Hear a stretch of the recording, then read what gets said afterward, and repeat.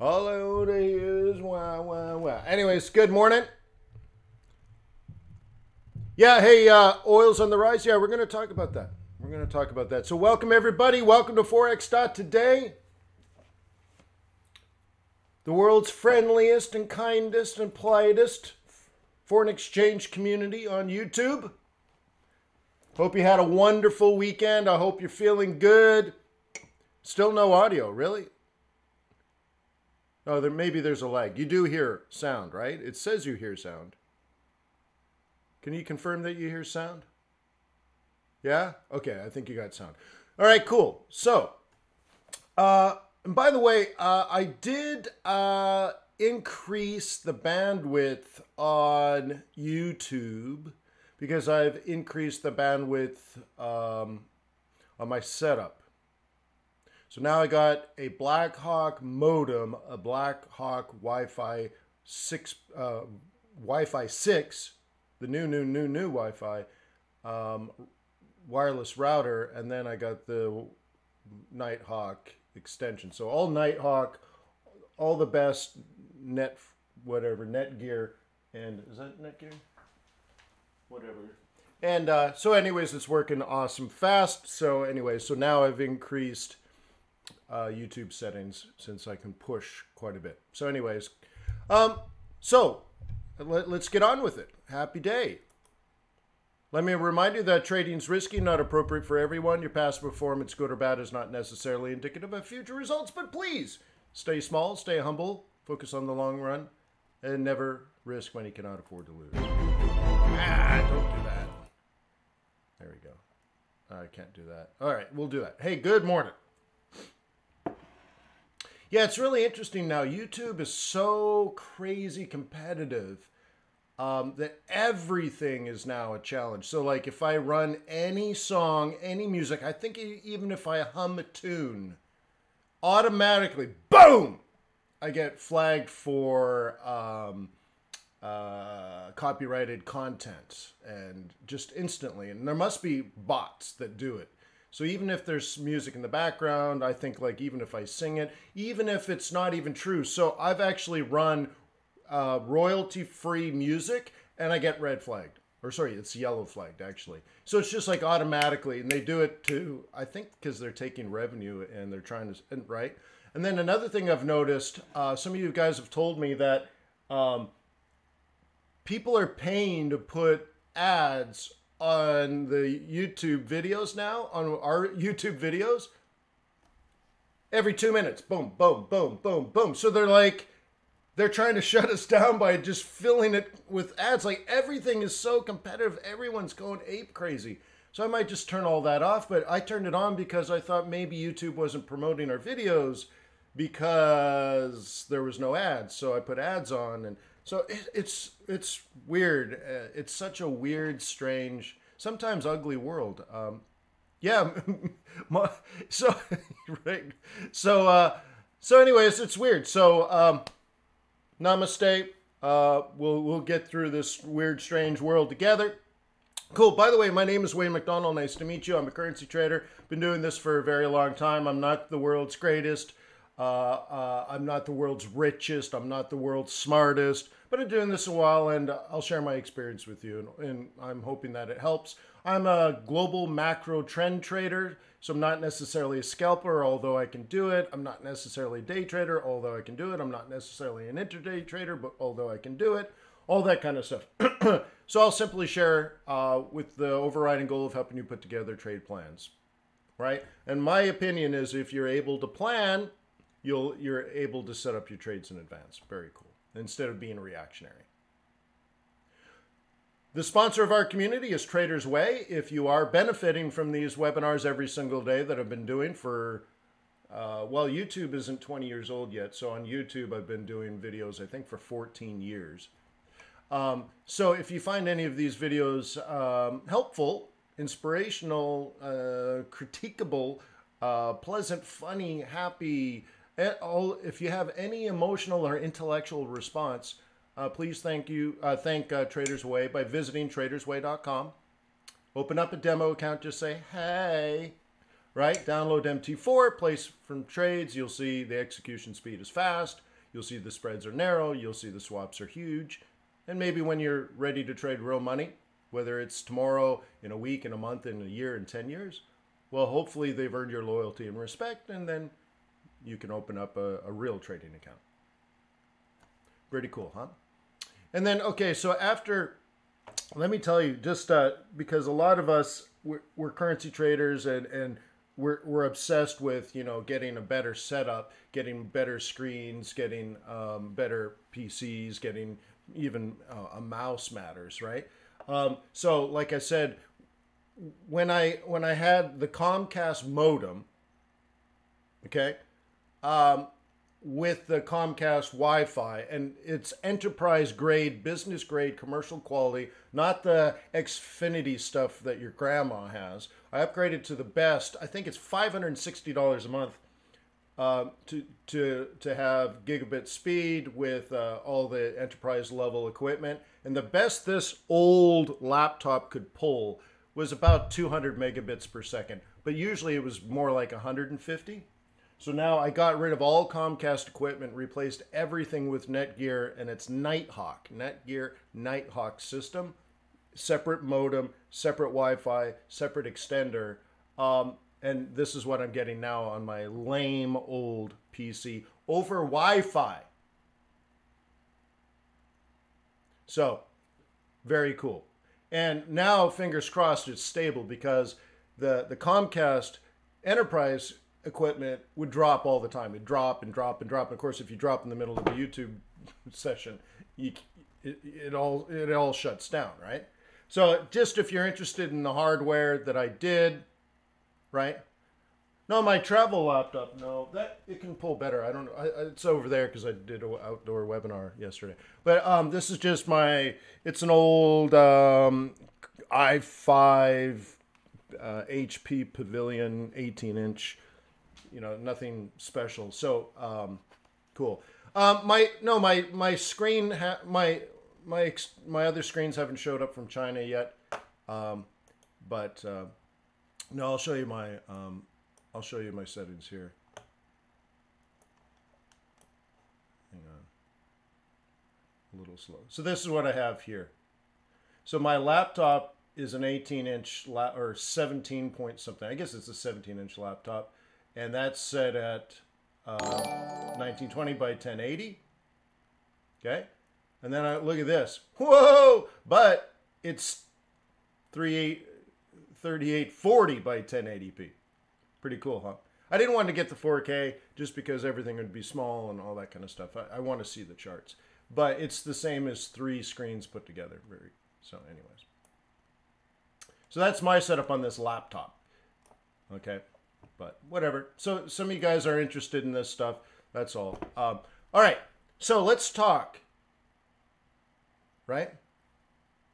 Oh, reckless! You pay, you get a gig for a, a hundred dollars a month. Wow, no kidding. Yeah, Wi-Fi is the the issue though. If you can pull, uh, so typically only get like um, uh, six or seven hundred uh, Wi-Fi, but that's amazing, right? All right, all right. So, okay, there may have been a game changer yesterday. Is that right? That's pretty good, crypto. Man, good for you. Um, mine's just a tax write off anyway, so who cares, right? Um, there might have been a game changer yesterday. Jay Powell did an interview. Okay. Well, actually, let's back up. Let's back even further. Wednesday is the FOMC meeting minutes. Okay.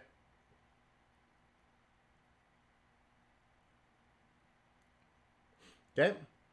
And we're going to learn, I think, that they've been discussing negative interest rates. Okay. and then last night, Jay Powell did an interview on TV and he said they have tons of things they can do. They, they have so much. And he, he even said, like, printing money is easy. You know, you just and just you do it on a computer like so he he he basically said said that the tools they have are really endless. Okay? And one of the things that's happening this week is they're buying 20 uh, year treasuries, which is a very, very new thing. And there's lots of issuance of new debt, and they're going to buy it all up. So, long story short, between what Jay Powell said last night and and what's likely to happen in the bond market this week and what we're likely to see on the FOMC meeting minutes on Wednesday, there's a, a decidedly risk on mood. Okay? Okay? Decidedly risk on mood. And so if you were risk off, so like Maida was risk off and she made 700 pips on her swing trade last week. I think it was over the course of two weeks in the swing trading group. And she was on her target last night. I'm like, hey, you know, be careful. This is where you're supposed to take profit, right? So um, we'll see because now suddenly we went from risk off to risk on, and everyone gets their turn, right? That's one of the things we talk about. Everyone gets their turn. So one of the groups um, in the in the uh, live trading group set up a trade plan up in here for down. Okay. And this is based on their analysis on Thursday. I don't know if they still want to be a bear in this type of uh, environment but we'll have to talk about it uh, later today. Okay. so, what do you guys think about the idea of Jay Powell? Hey, thanks, Barry. Oh, you've been doing uh, crypto, yeah, after having? Yeah. So, anyways, let's let's think of this. Like, if things are risk on, then yen is going to be weak. Dollar is going to be weak. Swissy is going to be weak. Commodity currencies are going to be strong because commodity commodities will be strong. So things like oil will go up.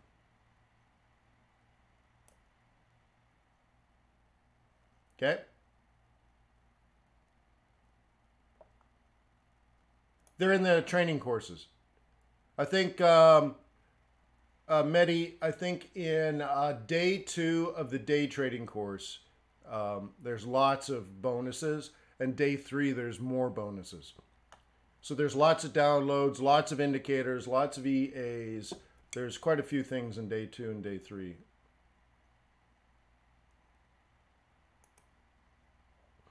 Okay. So, anyways, guys, crypto will be up, oil will be up, wheat will be up, copper will be up. Okay.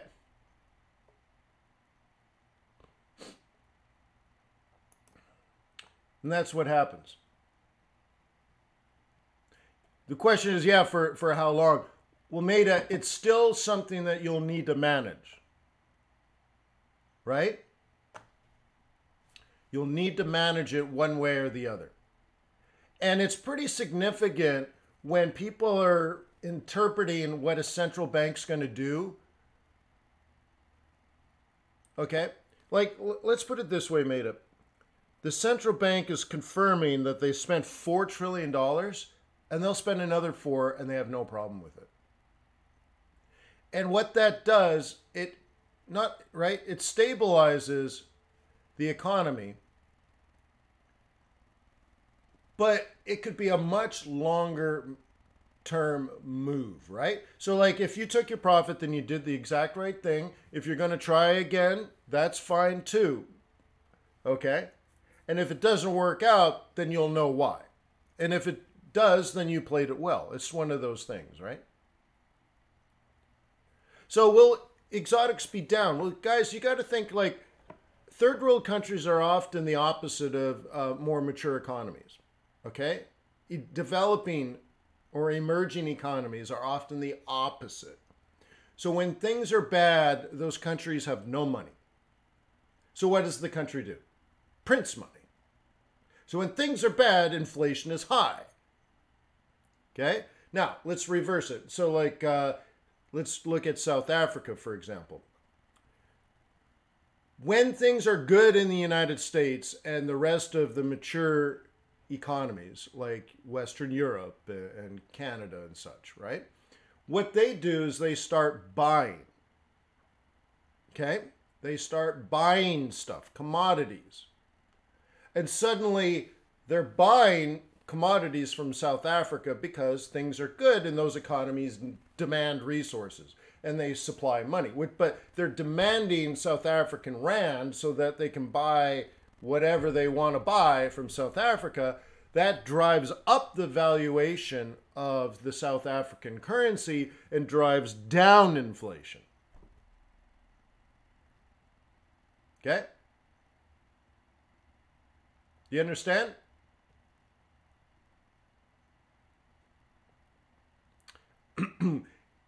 okay? So in in good times, the USD South African rand is probably heading down. And in bad times it's right? It's heading up meaning in bad times, bad global macroeconomic conditions, the US dollar is strong because people are looking for safety. People like uh, investors around the world are looking for safety, so they find it in the world's largest, most mature economy. So they buy US dollar and they get out of South Africa. And then no one's buying stuff from South Africa. So exports from South Africa goes down and they lack foreign currency. They, they lack demand for their products. They're not earning money. But so the way that they pay the bills is they print money and inflation goes up. Okay. Thank you, Maida. Appreciate it.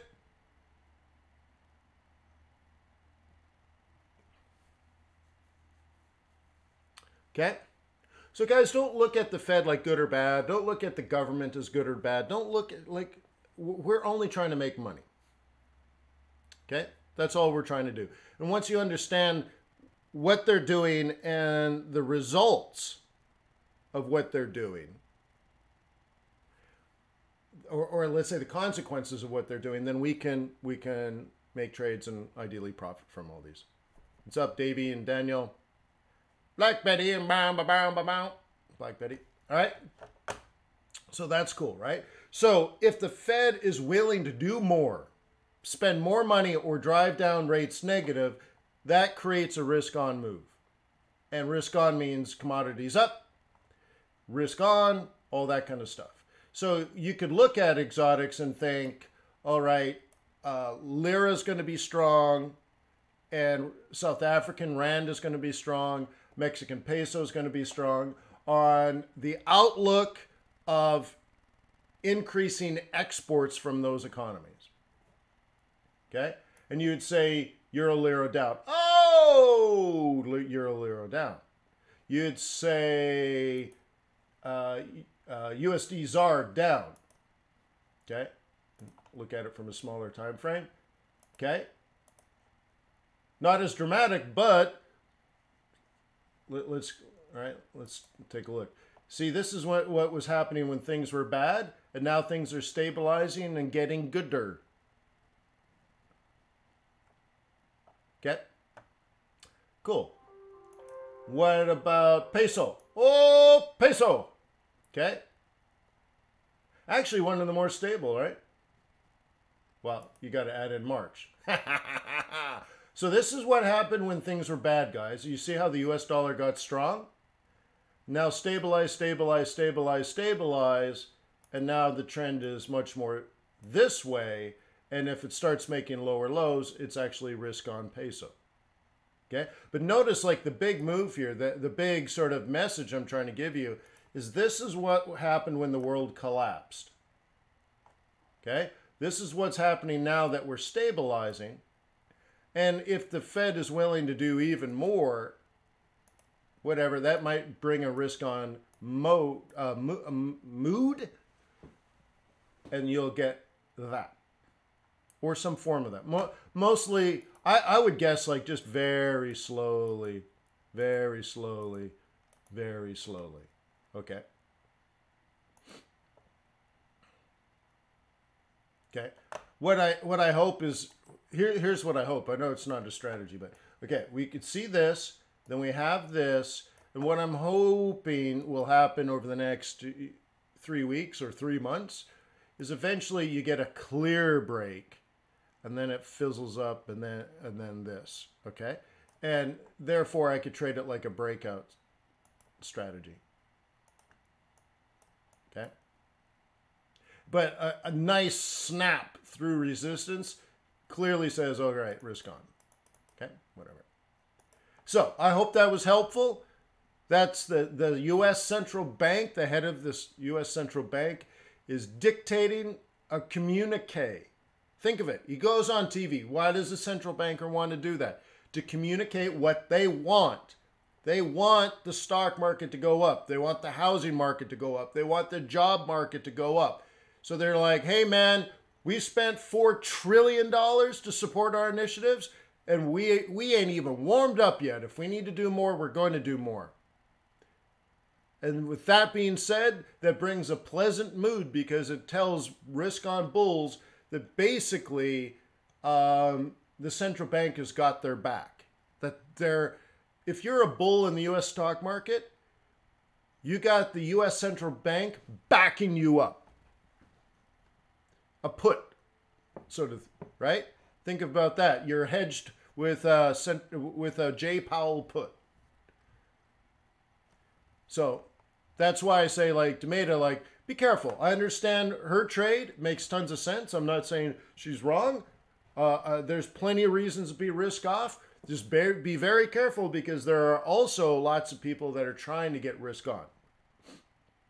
Okay, things for the risk off mo- mode would be uh, Trump starting a second trade war with China. Okay, and and he would do it simply uh, to get reelected. That's a real risk. I think if if you're a risk off mode trader right now, that's going to be the biggest thing that's going to help you.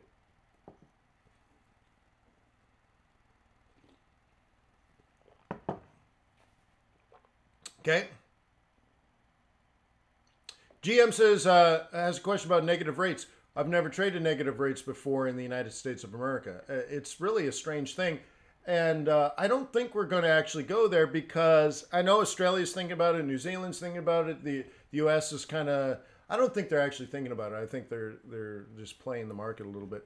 Um, but I think we could look at Europe and say it didn't do uh, one of two things: negative interest rates haven't helped, or the ECB is too timid and they didn't do enough. Remember, the whole thing where the ECB said they were going to do less, but they were going to do it for longer? Like, really? That that's going to work?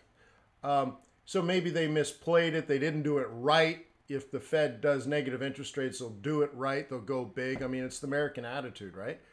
Um, so who knows? But it doesn't seem like it, it's necessary. What we need is people to get back to work. And that's the play that I'm making. So the way I've explained it to the uh, to the live trading group is that I want to be bullish. I'm trying to be bullish. Uh, I'm trying to bet on a recovery. I'm trying to bet on people um, getting healthy, that the health situation improves, that uh, global macro trade improves. And I, I understand that this might be 18 weeks, but it might be 18 months before we get back to relative normality. But that's what happened after 2000 and uh, um, uh, 9/11, right? After 9/11, where it took two years before people were truly traveling on airplanes again, uh, out of fear, not out of a technology or something, just out of fear. And the TSA had to be created, and we had to take our, our boots off, our belts off, uh, can't wear a hat on an airplane, um, that kind of stuff, right? So, um, but at that point, people finally felt safe. Well, it might take two years before we all hang out in Vegas again. But that might be the trade that I'm setting up here mentally. Okay, so I could be a long term, cautious bull. And that's going to set up my trade. Now, you could be over the next six months, you could say there's lots of problems still out there. Uh, I think there's still risk off. I think a lot of companies or uh, even sectors are going to come back much more slowly. I think some companies are going to have trouble finding debt. Um, and, and all those things are going to drag things down. Then that's your alpha. Stick to it. I'm not here to tell you you're wrong. Okay? So if you're risk off, be risk off. You'll have times when the markets are not favorable to your risk off. But then you will have times where the markets are favorable to your risk off position. You'll be there, you'll be ready, you'll be waiting, RWA, boom, ready, willing, and able to take the shot at the right time. Okay? And I'm just sort of, I'm sort of, I think I'm going to be a long, slow bull. Okay? Cool. So, anyways, there you go. There's a long discussion of of the Fed entering the market this week to buy bonds, to buy treasuries, increasing the supply of US dollars, and therefore a risk on mode. Um, um, basically, Jay Powell put to drive up the stock market and to uh, increase demand for commodities, to increase exports from commodity exporting countries, to put value um, or an increase in valuation on on those. Okay. So, anyways, wowzer. Well, this is loading. If you're a MetaTraders customer, guess what? MetaTraders 2.0 is going to be launched, I think, this week. And you're going to love it. And if you're already a customer, don't worry about it. You'll you'll get 2.0 compliments of the firm.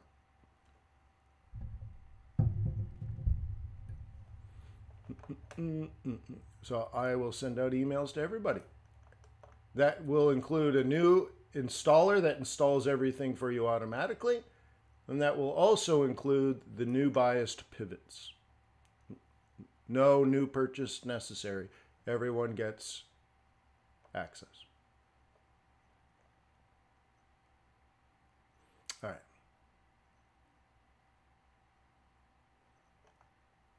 Sweet, huh? is not bad for a $5 product. All right. All right, so those bears are in their euro yen trade. So good luck. Good luck to them, even though it's my money. So what we did on Thursday, just if you don't know, uh, the live trading group got together. Uh, we broke out into groups. Everyone showed up with trade plans that they were ready to pitch through their group.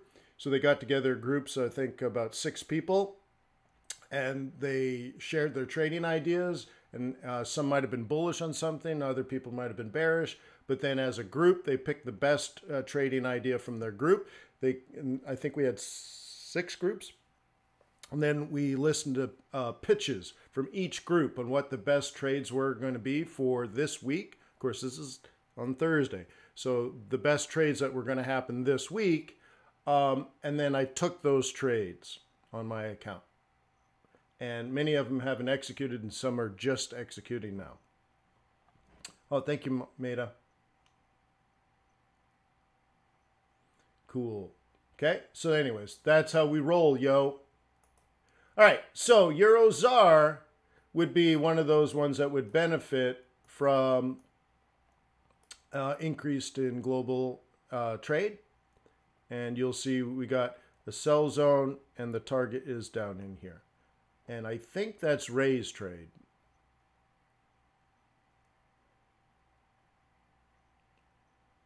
You know, Black Betty says uh, in Africa we got uh, superpower for disease. Actually, I made a comment on that back in uh, March, maybe even February, where I, I, said, you know what, I, I think because um, you know, in America, I think I picked on um, housewives that walk around spraying everything with disinfectant so little Billy doesn't get sick. But little Billy has snot running out of his nose 24 hours a day. And then she takes him to the hospital and he has to get, you know, antibiotics and all this kind of stuff where, you know, Africans just might be tougher, right? Or little American boys or, or, or sissies. I got to be careful. Everyone's going to hate me. Uh, but what I was saying though is if you've never been exposed to germs and viruses and all that kind of stuff, you, are you're, you're more susceptible, um, right? And Africans may just be tougher. And we'll see. Like I said, I don't really know, but it'll be interesting. Okay it'll be interesting to see uh, how it affects. So, hey, look at this. So, group uh, I think this was group two, wasn't it? Group two is making money. So, anyways, we'll we'll pay attention to these.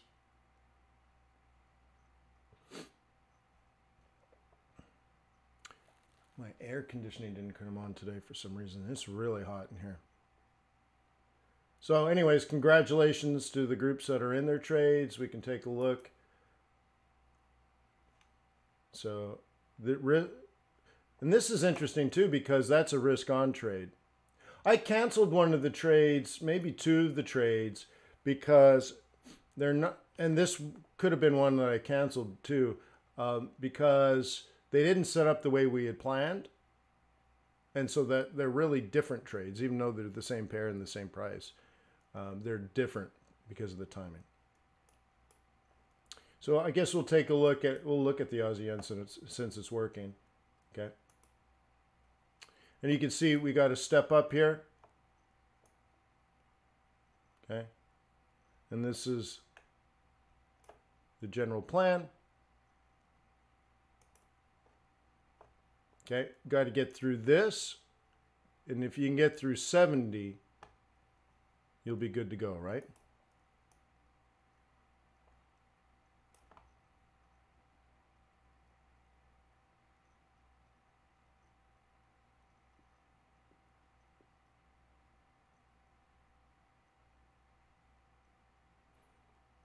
Wayne, please give a guide on formulating a realistic spreadsheet. Maybe you just use Excel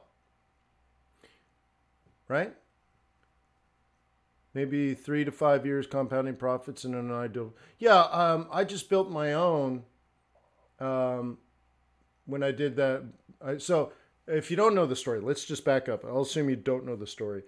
In year, in my, I think in my first year as being a full time trader, so I quit my job as a venture capitalist. I started, I, I turned an, uh, a bedroom into an office got my uh, computer screens and everything, and I was super happy. And about maybe six months or eight months into it, um, the effects of being alone all the time, and of course I traded in the middle of the night, that started weighing on me, and I went through a bad trading period. And uh, I, I, I was wondering if I had made a mistake that I gave up my dream job to work work in this home office in the middle of the night and lose money for for the effort. And so I asked myself, I said, well, you know, I'm used to being successful. What have I done in the past that has always led to success? And, and remember, before Forex, um, I, you know, I, I had done things in my previous life before Forex where I was in newspapers around the world and magazines around the world. I was in Inc. Startup mag, uh, or Inc. Magazine's Hot Startup of 1999 issue. You know, all these different things. So I, I, I had success before I went into Forex. And I asked myself, well, what did I do in the past that made me successful? And there was two things that I identified. One, I always had a business plan, and I realized I don't have a business plan for my forex trading. I just sit down and try to make as much money as I can. I'm like, that's not what a business does, not a real business. And then second one, uh, I always surrounded myself with smart, intelligent, like-minded people. And I'm like, I need those two things. So one of the things I did right away is I I booked a, uh, a, a suite at the Ritz Carlton, and it was really nice because it had an outdoor patio with a fire pit and everything. Um, and I locked myself up in the hotel for several days, and I did a business planning retreat with myself. Okay.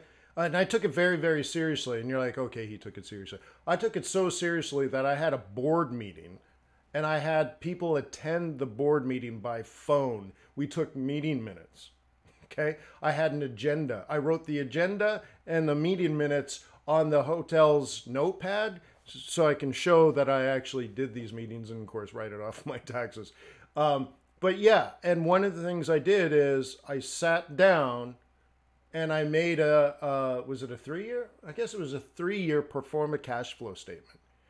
Okay, daily, weekly, monthly, quarterly, annually returns. And I analyzed things like so you, you start with a uh, an opening balance, you start with risk parameters and all this kind of stuff, and then you compound and, and all that kind of stuff, and you adjust your lot size as you go. And uh, th- it was such an amazing experience. It changed everything about how I looked at Forex. Um, one of the things I realized is at the rate I was going, I was going to make $580 million a year. and I'm like, well, perhaps I'm a little over leveraged. right? Whoa! And then I noticed lots of other things. So I started asking myself if I paid myself monthly, if I paid myself quarterly, if I paid myself annually, how would it impact my overall returns? If I paid myself 50% of profits versus 30% of profits versus 20% of profits, how much money would I earn? And there were so many paradoxes that I found while doing this experiment. It was just mind boggling and mind opening. So, the less I risked, the more I made. The less I paid myself, the more money I earned. Things like that. Okay? So, when Lungster says, hey, uh, give us a guide on a realistic spreadsheet, maybe three five years compounding profits. Yeah, open up Excel and build one. Okay? Work on it for a week. It might take you three days, it might take you a week, but you should be able to do that. Okay? Okay? It's just a pretty standard pro forma cash flow statement. So I, I had to think of things like, well, how much money will I earn a day? And so I had to look at my own trading history and think about it. And I realized uh, I can get lucky and make 10 pips if I'm like scalping along and stuff, right? But I found if I if I made more than 15 pips, I, I'm more likely made 30 to 50. Okay. And that's how I came down with minimal acceptable performance. If I couldn't easily make 15, I wouldn't take the trade um, and all this kind of stuff. And so in my uh, pro forma cash flow statement, I said, well, on the long run, on the average, I'm going to base it on for the day making 15 pips. I know it's tiny, but I'm saying, well, if you add in your losses, if you add in the days you don't trade and all this kind of stuff. And so I created this minimal acceptable performance. And then uh, I realized I didn't need giant lot sizes. So I adjusted my lot size and I put in my starting income or my starting deposit and then uh, I I looked at an average of 15 pips a day, and then I played around. So I, I, I made a component to adjust average for uh, average leverage for the trade. And by leverage, I mean lot size. And then uh, I did another interesting thing. As I made money, meaning as my account size grew, I actually increased lot size more slowly. So, for example, if I doubled my lot size, or sorry, if I doubled my account, let's say instead of doubling my lot size, my lot size relative to the account size might have only grown by 50%. So I actually throttled back the more the more I grew my account, the the less risk I took per trade per day, right? So that at the end of 3 years, every single day was hardly any risk relative to the overall account. Okay, so I, I took it as serious as, as I possibly could. And all these things, the smaller trades were important because any individual day was irrelevant. I just had to achieve on the longer run my average of 15 pips. So I didn't have to trade today. I didn't need one more trade. Uh, I didn't need big trades. In fact, I didn't want big trades where I go all in. I'm like, oh, I'm going to make so much money quickly. Uh, I realized doing this that I never had to go big. I don't have to go big because I know if I do the stupid little average 15 pips a day, at the end of three years, I easily hit my uh, my profit target easily, right? Whatever that is. So you'll make up a number. Like as long as you're doing that, let's say you're trying to make a hundred thousand a year. Let's say by the year three, if you're just averaging, you're easily doing that, and that's fine right? And, and meanwhile, not only are you doing that, you're saving money faster than you're spending it, which is also another one, another key component, right? So I learned so much by doing this that I don't need to take risk. I don't need to feel like I have to trade. I don't have to throw down large trades. I don't have to make a ton of money today because the the a lot of money today means I took a lot of risk. Well, I don't need the risk. I need the consistency over long periods of time, and compounding interest takes care of it. Plus, I'm lowering risk the whole time. And it just all of a sudden takes so much burden off your shoulders and off your psyche and, and all that kind of stuff. So, um, so to the person that asked the question, yeah, sit down and do it. Right? Sit down and do it. It'd probably be the most important thing you've ever done as a Forex trader. Okay? the most, it's probably the most important thing you'll ever do as a currency trader. Oh, let, us finish that. Um, where were we? Aussie yen. Let's finish this. Okay. So this is the bullish uh, uh, biased pivots. Let's just look at it on a confluence. And I got to click in here. Okay. And let's see what's going on here. So bulls, let's see how this set up. Bears sold it at 70. Okay. Boom. And this down here is a buy zone.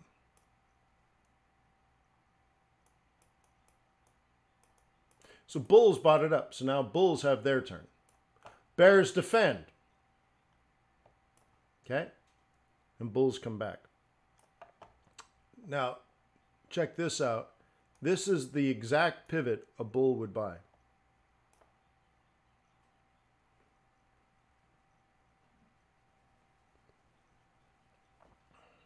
Okay. Okay. So this is the exact, right? But here's the thing. Now using price action, let me change my different color.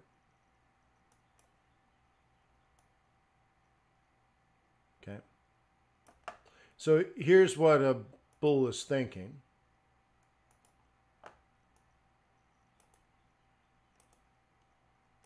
Okay. I'm a little cautious in those scenarios just because we're not trending. Okay. We're just not trending. It's it's still not a good trade, even though this is a profitable trade. It's still not a good trade because I want to be a trender.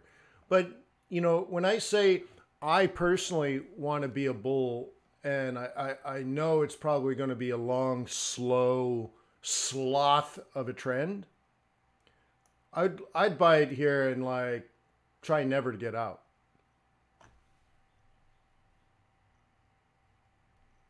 Okay. Beta's like, we're now in the weekly M3. This is where a bear would sell. Yes, 69 and a half. Right? So you could drop into like, drop in on your four hour chart and really zoom in. And one of the things you would do, um, analyzing a four hour, let, us do it this way. Um, you have one, two, three, four candles with no true real lower low. Okay?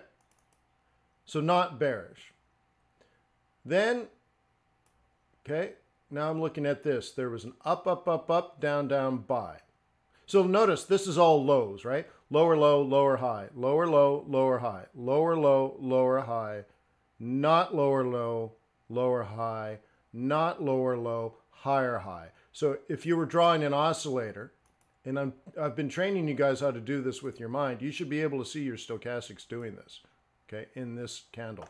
So now we have a higher high relative to this high, and a, a higher low relative to this low. Okay, there's your change in trend, right? So now, and I'm talking to Meta's idea of, okay, we're on a, we're on a M3 here. I'm just saying, well, be careful, okay? So now we're at this higher low, okay? It goes up, makes a higher low, right? And then a higher low again, and then a higher high, then a higher low. Now we're higher high. So right now, as long as we're above this, this is, to me, still technically bullish. Okay? Partially because we haven't made a red candle yet. Now you can drop into a one hour and try to cut this corner, but um, I wouldn't sell this just because we're at M3, just because we're at 69 and a half, right? Because remember what we want is essentially if you're a bear, what I'm saying is you probably want some down first, okay? And then maybe a, a lower high, lower low in which you can catch the next lower high, lower low, right? You want you want the oscillator to roll over. And you know how to create an oscillator rollover is you need no no higher highs and eventually a lower low. And then you'll sell the lower high. And, and you'll take it down like this. And you'll say, aha, M3. Well, if we're not in a proper downtrend, then I'm going to wait for extra confirmation. You see how I'm doing that, guys? So if the Bears do enter on this weekly M3, we'll see it technically. Okay? And you'll probably play that. And and currently, you know, Bulls should still buy dips, and Bears are looking for, you know, um, bearish rallies to sell. Okay? So on the longer run, I would still look at it this way. If I was a bull, I'm going to expect a higher low. Okay? So now you can probably drop into a smaller time frame than that, maybe even a 15 minute chart. And you know this is four hour support. So as long as we're above that, you're looking to do stuff like this. Okay? Because you're a bull. You see that? And you're not looking for anything else. Now, a bear wants to see a 5-8 cross, double top, lower low scenario. So yeah, so if you breach the if you do a double top and and and and head down to the 55, well then we know the 55 predicts a lower higher double top and therefore, you know, the bears are going to get involved, but it probably won't be till tomorrow. It might come down now, but you might not truly get bearish conditions until later today or tomorrow. Okay? Your bears might enter this tomorrow in Asia or London Open. Go to the 30 minute. Okay, well, you know, now we're just dry, dry, driving down. So, as a bear, you do have resistance there, right? So, I'm not disagreeing with that. That is where a bear would sell if they exist. That's the best setup right now for a bear. What I'm saying is you should be cautious because right now it's not bearish conditions. So you're selling in an uptrend on this time frame.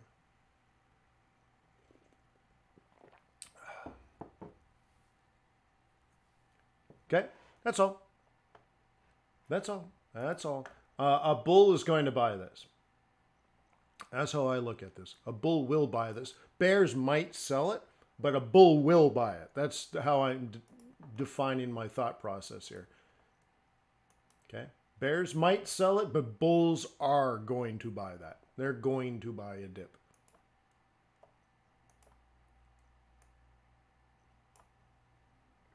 Okay? That would be sort of that kind of look there. But so let's now let's look at let's go back to this. What does every one of these candles have? There's a there is a level of pullback. Okay? So let me let me kind of zoom in here. Okay, you see there's a wick on the top, a wick on the top, a wick on the top, and a wick on the top.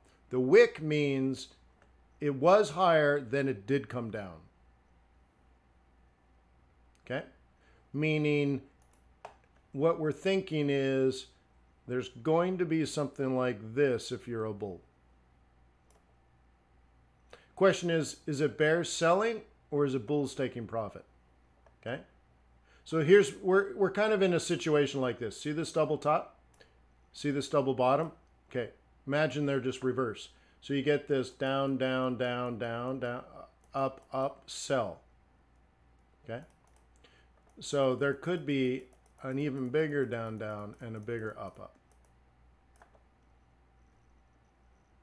But we're going to stay, like in this case, you had to stay below this neckline and you're going to stay uh, that's not the right neckline uh,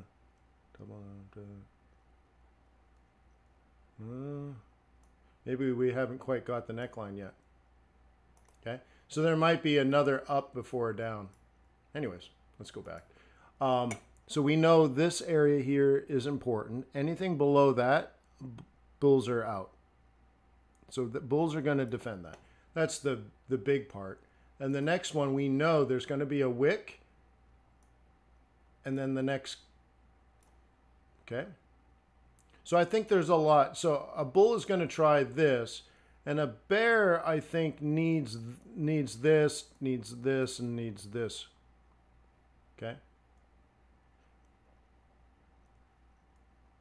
So maybe think about this as a bear.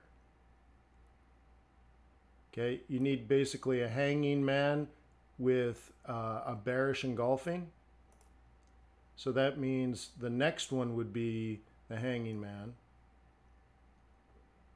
followed by a bearish engulfing. Okay, which means what? Lower low, lower high, lower low, lower high. Okay. So you might be right on the price and all that kind of stuff. I'd be I'd be a little cautious before I started selling, but I think a bull is going to buy. Bears might sell, but it might be too early.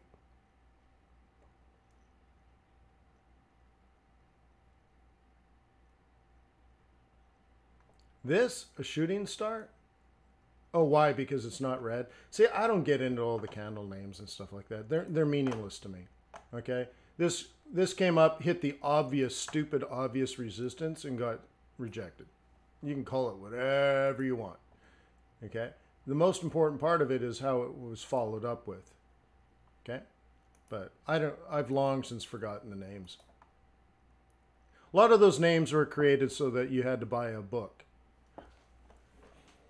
Okay, when you have a book of the 274 stick, uh, 274 candlestick patterns every trader should know, it's because they're trying to sell you a book. There's probably five that are interesting, and everything else is just a different iteration of the same thing. You sell it resistance, you buy it support.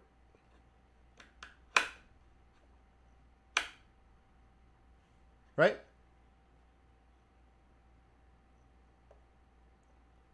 All right, so let's take a look at another commodity play. So we know on a risk on tone, USD CAD should be coming down.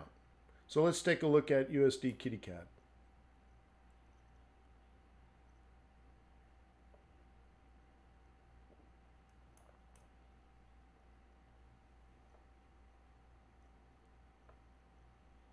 Okay.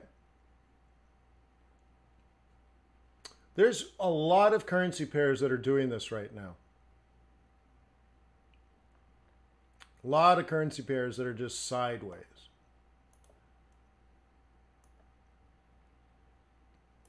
Okay.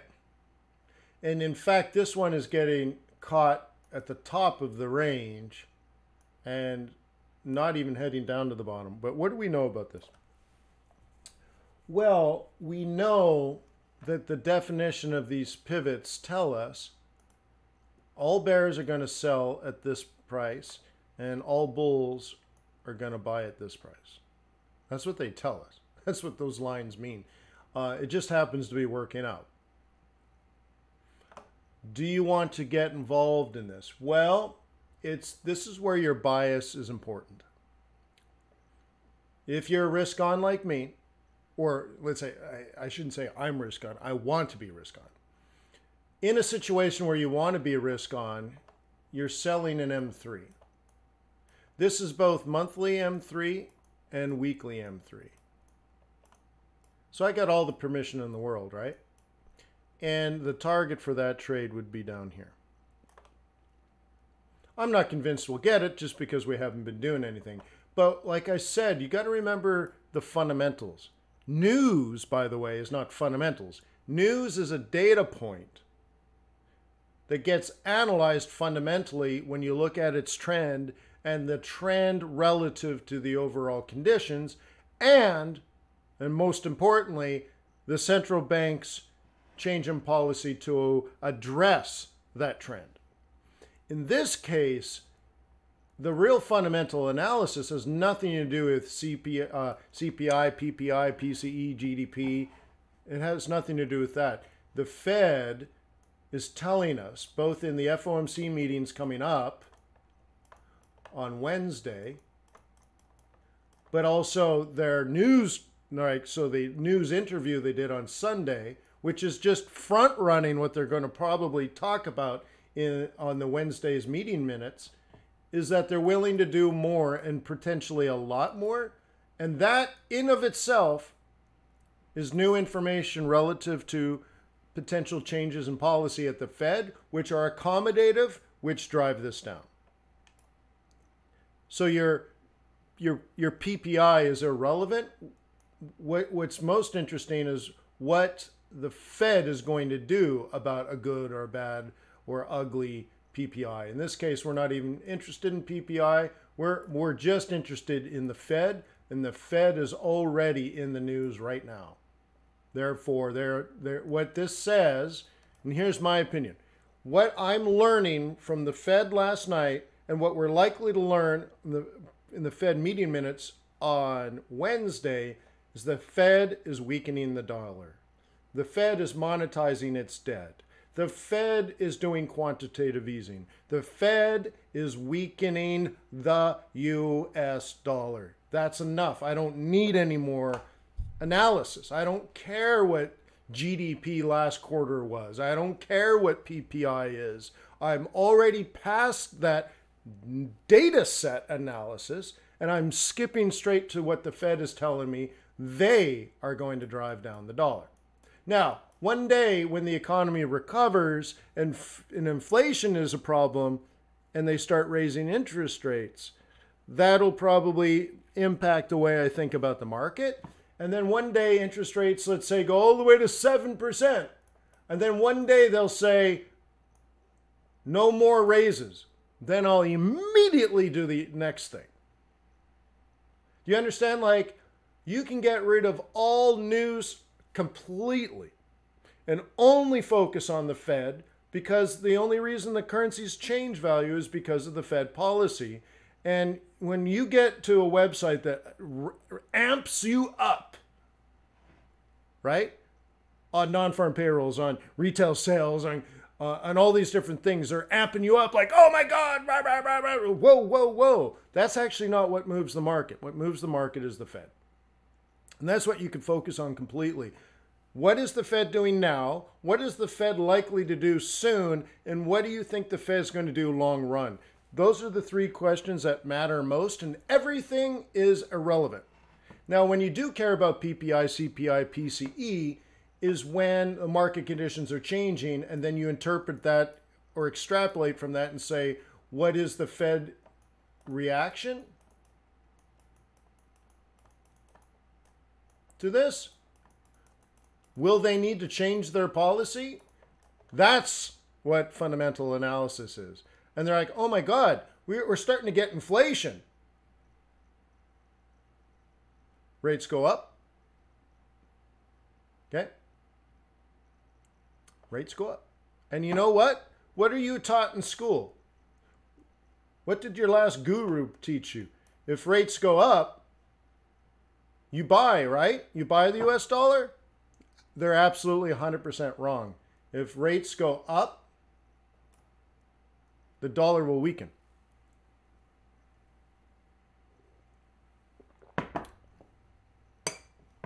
And when they can't when rates are so high they can't raise them more, the dollar will strengthen. It's the opposite of what you think. It's the opposite of what you learned in school. So, anyways, I'm glad you're here so we can track all this. So, anyways, the Fed is telling me, and of course, I might be wrong. Never forget that. Okay? I might be wrong. But the Fed, I think, is telling me, whispering in my ear, this is what they want. And they're willing to spend money to get that. So I'm like, cool. Yeah, pure mathematics is I was taught that rates go up and so you buy. It'll actually weaken the US dollar. But here's the thing I'm talking about the US dollar specifically, pure mathematics. I'm talking about the reserve currency in particular. Okay, now if you're talking about uh, Great Britain and they raise interest rates, okay, the pound probably will strengthen. But I'm talking about the reserve currency. And so what they're saying, what the Fed is saying is they're willing to spend more money. Okay? So when you get and and remember, they're not like out of their bank out of their savings account. No, no, no. When they add more money, this is the key. Money supply increases, the value of the dollar decreases. This also solves liquidity problems where third world countries are short on dollars. Well, now they can get their hands on more dollars because the Fed already created 4 trillion more dollars, but the value of each one of those dollars is cheaper, so you're actually making the debt of foreign uh, of foreign countries, in particular, let's say emerging markets, that have their debt priced in dollars, well, the Fed is actually lowering the dollars and, and easing the debt burden per dollar. So, anyways, so if I get that right, I'm thinking this way. Okay? And if that stabilizes global macroeconomics, if suddenly that, uh, because China is back online and they're buying commodities from Canada and Australia and New Zealand, okay, well then cool, then Canada is going to benefit, Australia is going to benefit, New Zealand is going to benefit. And all this put together means USD CAD down. And let's say Aussie dollar up. And to me, it's the same trade. Okay?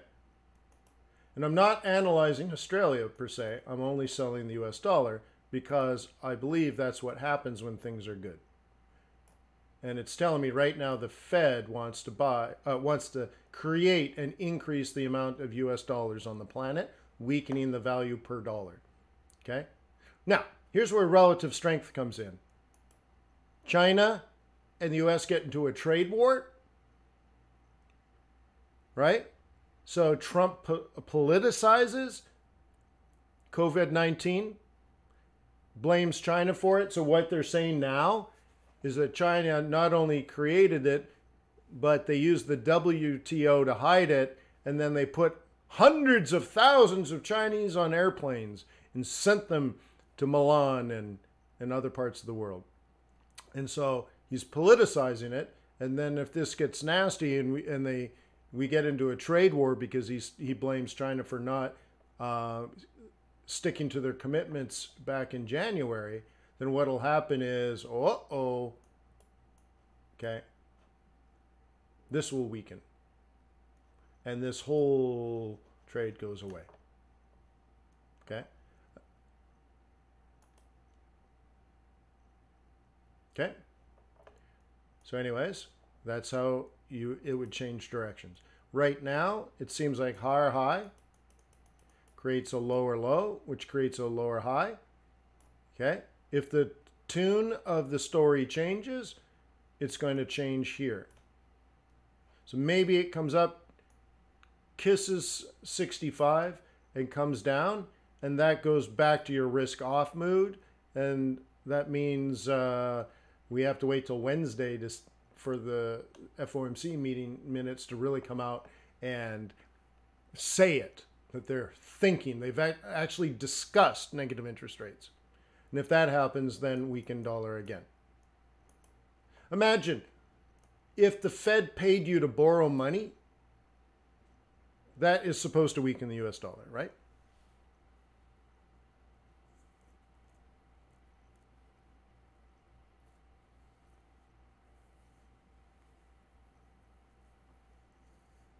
Okay. Well, the US dollar is the reserve currency, so it supersedes everything else. Okay. So let's boil it down to what we know technically. Bulls are supposed to buy it here, bears are going to sell it there, correct? We know that. If you don't know that, oh my God, you need to take the training courses. Okay, but that's like flat out, you know what to do, um, right? If you're a buyer, this is the exact price. If you're a seller, this is the exact price. Okay. And you kind of wait for it. So bears are probably going to be short by tomorrow if there's bears. See, if there's no bears, we're going to be up here tomorrow. Okay. So you have to think about, well, what would bulls do then? Well, they're going to get their way. Then there'll be a pullback on some profit taking. Then we'll get a, a rise and we'll be up here. Okay. That's if there's no bears in the market. And we, we haven't even got to the bearish entry. We there, bears shouldn't have done anything yet. So bulls haven't been tested. So we know bears live here. And if our if bears are ready, ready to sell here and sell here and sell here, then tomorrow, if this truly is still risk off, we'll be down there tomorrow. So the thing is, you just got to do what you got to do. Bears sell here. That's it. Bulls buy there. That's that. It's not debatable. It's just what they do. Okay? It's what they don't do that really impacts things. So if Bears don't sell this, then Bulls are, have a free hall pass. They're not even being challenged. Of course, it's going to go up.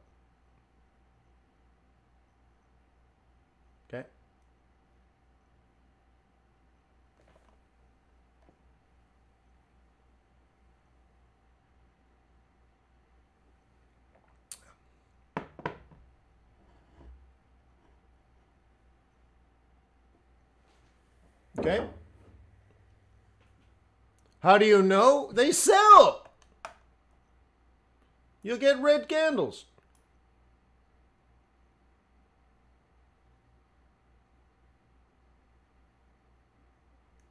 Right?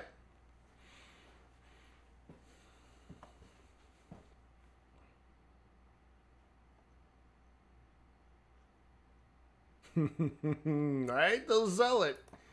You'll see some red. If they don't sell it, you'll just see green, green, green, Bubba. Green all the way. Cool. How many people here saw my review of the weekly calendar and um, and the discussion of the most powerful woman on Wall Street uh, yesterday? How many people saw that?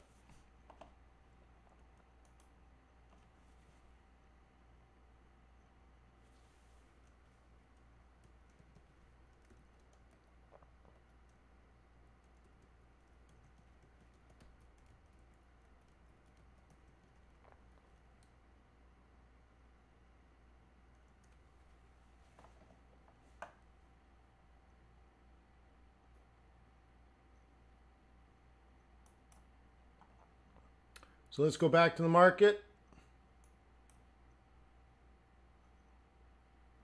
If you missed it, it's right there on the link and make sure you subscribe, please.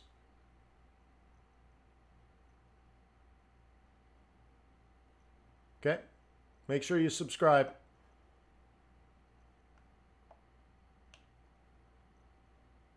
Yeah, it's very difficult. Everything that could go wrong did go wrong, but we survived.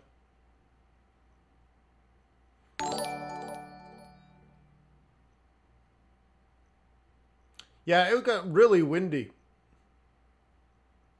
It was a nice cigar, though, for sure. Uh,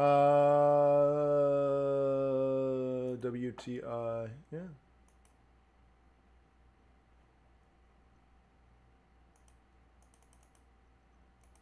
My oh my, WTI. Okay, we're at the weekly target, so this is a pretty dangerous place to be buying.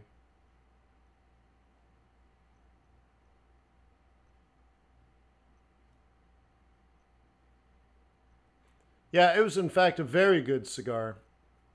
It's a Montecristo 100 Days.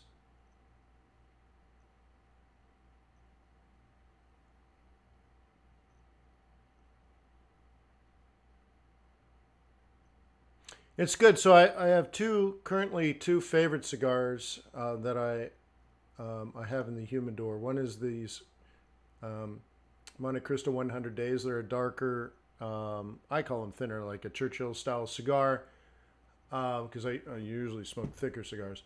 Um, and it's it's nice. It's beautiful. It's dark, but not too dark, and all that kind of stuff. Uh, really nice, well balanced, perfectly rolled, perfectly blended cigar. And then I have another Montecristo, um, which is Enye, Enye, it's not Añejo, it's like Añejo de Dos or something. Um, but anyways, extra aged as well. Um, so both are extra aged, and uh, but it's a milder cigar. But again, just and they've been extra aged, and they've been in my humidor for uh, I don't know, one of the boxes I found. Uh, so I, I, found this box. I'm like, what the hell is this? And I opened it up and it was full of cigars. And then I said, well, what else is in this humidor? I'm going through all these boxes and I found another box and it was these Montecristos. And I'm like, oh my God, this is full. like I never even opened it. And so I don't know how long it's been in there three, four, five years. I, I couldn't tell you. Um, but, anyways, they, they turned out to be pretty fantastic cigars if you like those kinds of things. So I've been uh, on on the weekends. I've done it twice now, where I light a cigar and enjoy a cup of coffee, and I go through the newspaper with my uh, forex friends.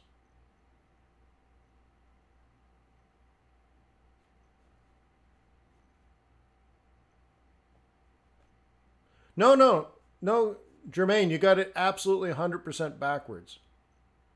No, you got it backwards, and that's the problem most people think about it and they get it backwards because they they believe they've been you've been taught that all currencies behave the way that you're describing it, um, but not the reserve currency.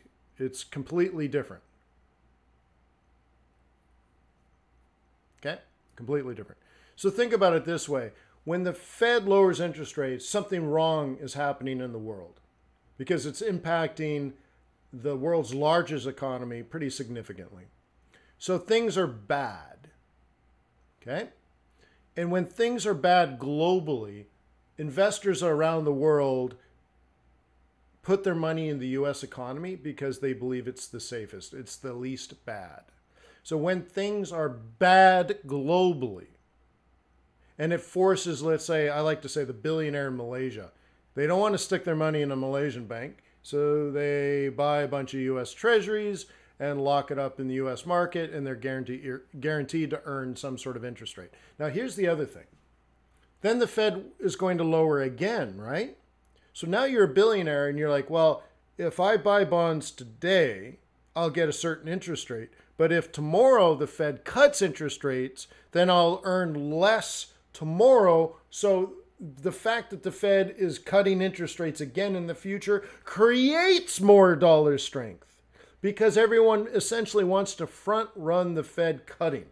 It's a behavioral finance issue. So, because the Fed is cutting, and in particular because they're expected to cut again, it drives up demand for the dollar, and the dollar strengthens because money is moving, uh, let's say, away from Malaysia and into the US. So when the Fed, and here's the other thing I said, when the Fed is expected or announces that they are done cutting, the minute that happens, dollar will weaken. How many people have heard that from me? That you have to listen for or interpret that the Fed is done cutting. And in that moment, the US dollar gets weak. How many people have heard that before? Raise your hand, say I. Or say type I. Or yo yo yo or what's up or for sure. Man, where's my coffee? Is there a lag or you really haven't heard that? See, it's good that I ask because I don't know what you don't know. Okay, there's a lag. That's a good 30 second lag. And I'm pushing as fast as YouTube will accept. All right, cool. So you know that. So that's why this is important. Okay? So if if the Fed says they'll cut again, that might actually create some dollar strength. If they cut into negative territory. But if they said we're done cutting, but we're not done spending, well, if they spend money by buying things, that increases the money supply. Okay, it's not making money cheaper. It's not cutting interest rates on people's saving instruments, right? This has to do with simply increasing mon- uh, money supply through monetary policy and open market operations. So in that case, the dollar loses value, Therefore, commodities priced in dollars have to go up. Also, it creates risk on because your, your dollars are, are weak. So, I don't know, it forces you out of the US. Um, and then things like gold and Bitcoin go up and all that kind of stuff. Okay? Oh, right on, Richard. I'm glad. I'm glad that was helpful. Um, would you, uh, for everyone watching right now, uh, would you please click the like button? Two thirds of you have not clicked the like button. I'd appreciate it if you could tell YouTube that this is quality content. Okay. Famobix says, uh, of course the Fed is going to cut. I don't think so. This is my opinion. I don't think so. I don't think they want to. I think it's dangerous. I think it's uh, they don't know what it'll do. I don't think it worked in Europe. Uh, so I think they would rather um, create more money and weaken the US dollar than um, cut interest rates to a negative level, take that risk, and strengthen the dollar. Okay? And remember, Trump wants a weak dollar. Interest rates are already at zero, so you know what I mean? So um, I'm not convinced, like uh, Famobix says, of course they're going to cut. Uh, I think they're done, but not uh, done cutting rates. Remember, I said cutting rates is what makes the dollar strong. Um, but if they're going to increase the uh, money supply, which is buying bonds, then the US dollar will weaken. Okay? Famobix says they, they've got no more options. Well, this is why you need to read the FOMC meeting minutes on Wednesday because they've talked about their options. And then last night, on uh, uh, in his interview, he said they got plenty of options.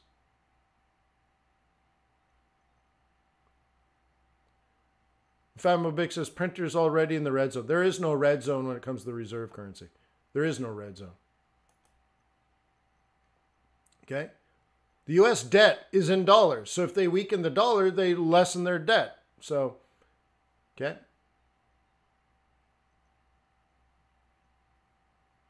So, anyways, uh, I wouldn't be so sure.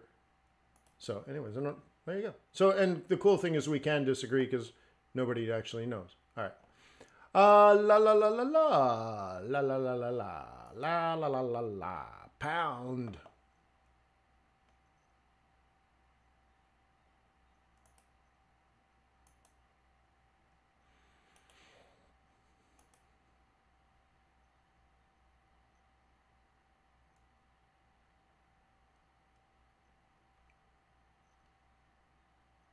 Okay. Pound hit the monthly target. Well, if they sell the debt, they don't really care who owns it. Who cares?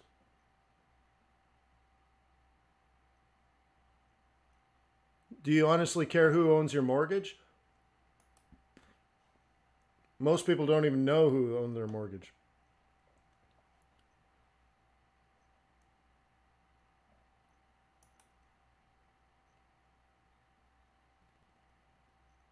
Meta says the Fed will buy it back, but they don't have to.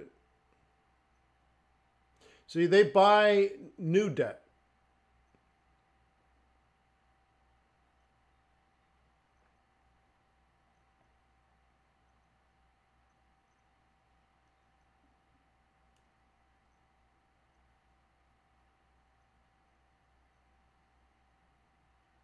Peter DeVries says, What will happen in the near future the US will not be the reserve currency. No, absolutely not. There's no other currency that's even remotely close to being a potential reserve currency. Okay? The euro can't even manage its euro, right? Like it the euro was a great experiment and I had a lot of hope for it, but um, it, there's there's real real real flaws. Um, and it can't likely be a reserve currency until they fix some of these flaws. So I don't think that's going to happen very quickly, um, but it has the most potential. Um, China can its currency cannot be a reserve currency. They don't have a mature bond market. They don't have a trustworthy legal system. They don't have, uh, uh, let's say, an open political system. It, it's a thousand, you know, I wouldn't say a thousand years. It's a hundred years. It's right it's 50 to 100 years away from being maybe a reserve currency. Okay? So right now there's there's I mean the US is free and open elections. It has a trustworthy legal system. It has a stable economy. It has uh, a mature bond market. It, it has a, a mature central banking uh, system. I mean, there's uh, it's the world's largest economy. Uh, it has a stable financial system. Um, I mean, there's just it's so right there. It's so far. So Europe is maybe the next opportunity, but it has structural flaws that need to be fixed. So maybe euro becomes a, re, a, a co-reserve currency, but I bet you it'll take 25 years to even get close to fixing that. So I'd say maybe the euro becomes a reserve currency in 25 to 50 years if they fix it. But we've had it for 10 or 15 years and it's still flawed. Right? And then and then China is probably 50 to 100 years away if they um, if they address their legal system and their bond market system and their uh, financial system and I mean there's just so much that China will have to do. Okay? But when you read things like when you're finding little pamphlets stuck to a telephone pole that says the US is going to collapse, the dollar is worthless, it's all these horrible people at the Fed, um, you're reading stuff that's highly politicized and not actually factually true. Okay. Well, that might be. We'll see, Peter. Okay. We'll see. Crypto's got a long ways to go, too. I think crypto will be an interesting side currency. I think it, crypto will be somewhat like hoarding gold. Okay? But it might, maybe it becomes something. That's true. But right now, it doesn't meet the definition of money quite yet. Um, but that could change. Just like, you know, I, was, I, was, I remember talking with my wife the other day, like how fascinating that so many people have been forced into things like Zoom and using their smartphones to actually visually have a video conference call with another human being. And for our kids, it's absolutely normal, right? Um, where many years ago, uh, I saw it as sort of the, the future, but back then you could you had to use Skype, and you can get a Skype phone with a camera, but you had to call people with another Skype phone uh, with a video camera in their phone. I'm like, well, then I got to buy one for my mom. I got to buy one for my dad. And, you know, how long is it like everyone in the world is going to have a Skype phone, right? And I'm like, it's going to be a very long time before talking face to face over the phone is going to be common. And then we've had the technology for several years, and there's a lot of grandparents that have never FaceTime before, and now it's totally normal. Right now, you have parties with 10 people on the phone and you're playing games together, and it's totally normal for people to be all around the world hanging out with each other. So um, there can be a change when, you know, right now I can't buy bread and milk and eggs at the grocery store with, with Bitcoin. But when that happens, Bitcoin will be much closer to um, a proper currency. But we're not there yet. It's not liquid. If it's not liquid, it ain't currency. Because currency, by definition, is liquid. M1 is liquid. That's what M1 means. So we'll see it might have a better chance.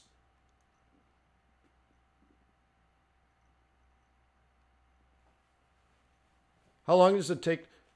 Uh, well, I receive uh, Bitcoin from around the world on a regular basis. And um, I received one Bitcoin last week, and it took, I think, six hours. I received it instantly, but I think it took six hours to confirm.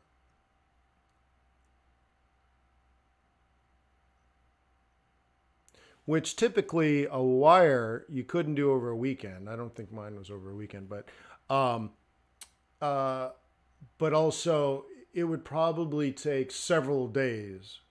I'd say probably four days. Of course, Bitcoin they slip you on the conversion, plus you pay a couple of percent. So it's actually pretty expensive, but it's less expensive than banks and it's faster than banks. So I, I think bit uh, crypto or let's say blockchain. I think blockchain is definitely the wave of the future. Um, and I would recommend it to my children if they were trying to pick a, like an engineering career. I'd say, well, get get to know blockchain, right?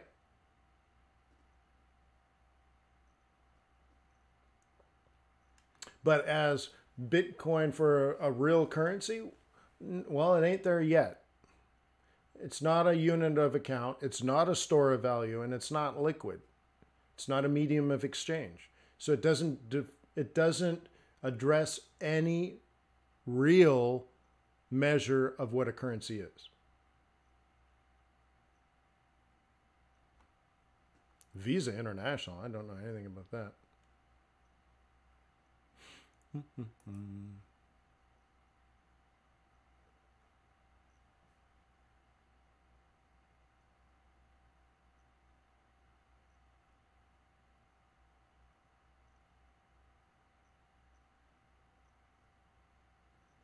Well, the exchange adds 2% right off the bat, Peter. All right. Uh, so let's let's move on to something else. Gold having a hesitation. Okay, so you got to drop in. Are you a buyer?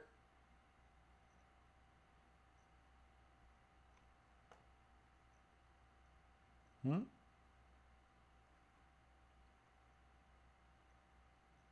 Hey, Brandon. Or Benandemzem. Benandzem. How about Derek? Ben Benandzem? Benanzem? Benanzem. Welcome, Benanzem. Yeah, this is what I'm saying. Are you a bull?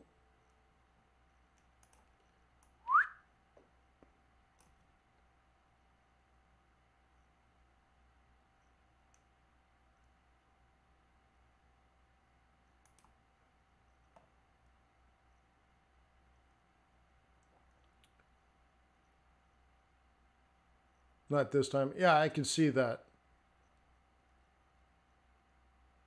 Yeah, yeah. Blockchain I find very, very interesting. Ooh.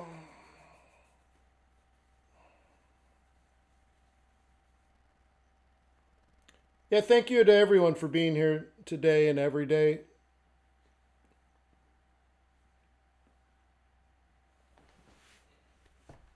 Betty's going to do it.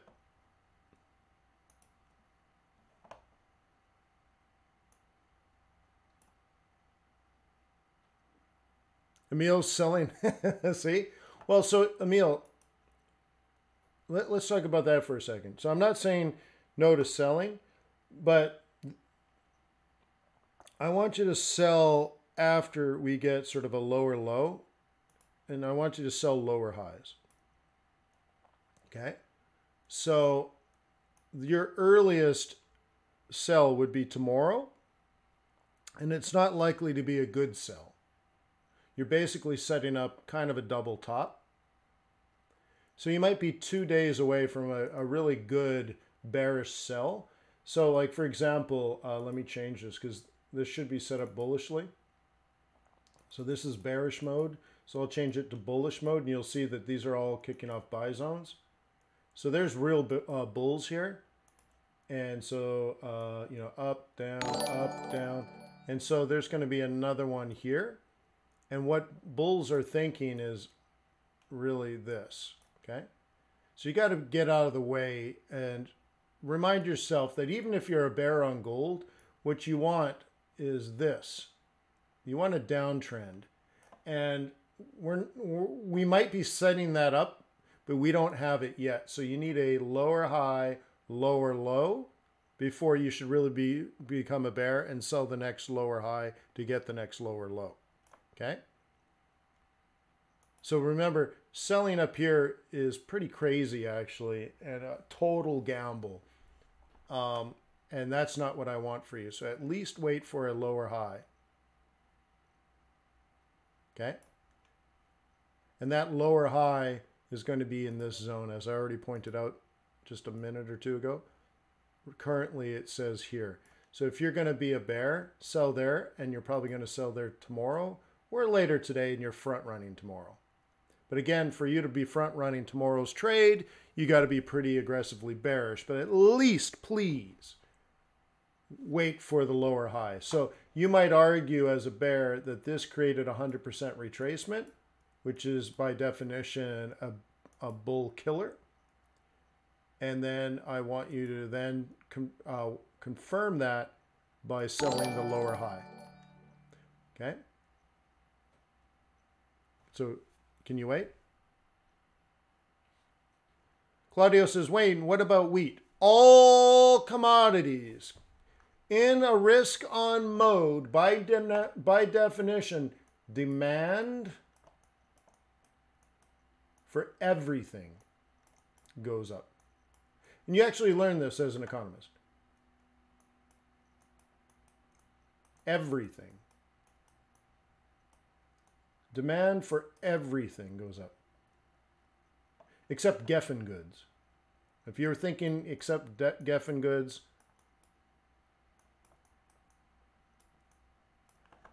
then you then you got me. Okay? Demand for everything goes up. Wheat, barley, nickel, gold, palladium, lithium, lumber, beef, chicken, pork, diamonds.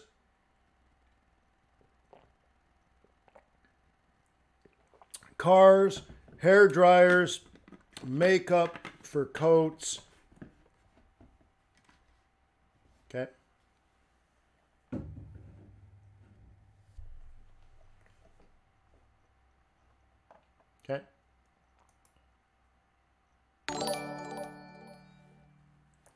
Because all people are spending on everything, and spending is another person's income. So income rises, then they spend more.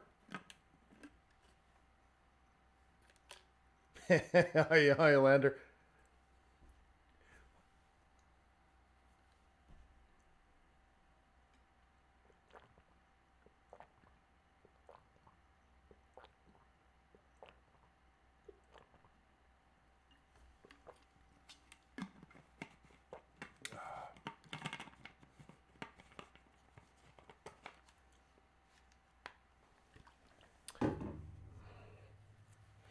400 people, 150 likes. Could I please ask you again? Would you please click the like button? I welcome you. I'm here every day. I'll be here tomorrow. I'll be here on Wednesday. I'll be here on Thursday. I'll be here on Friday. So please subscribe. But when you click like, you're simply telling YouTube that this is quality content. So that's all I'm asking for. Would you please Click the like if you believe this is quality content. I appreciate that. Thank you very much. Uh, what would you like me to cover next? What's the next currency?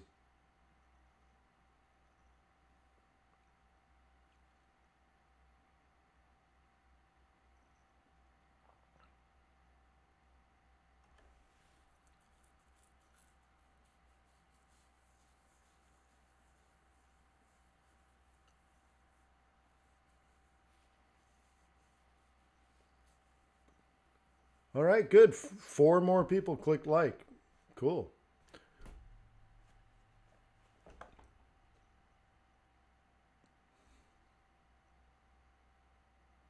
Gold is always a little different, yes.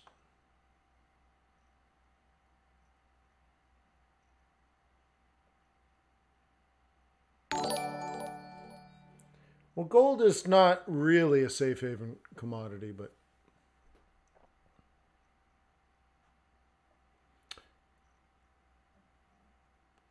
Could be, but mm, yeah. But gold is different, for sure.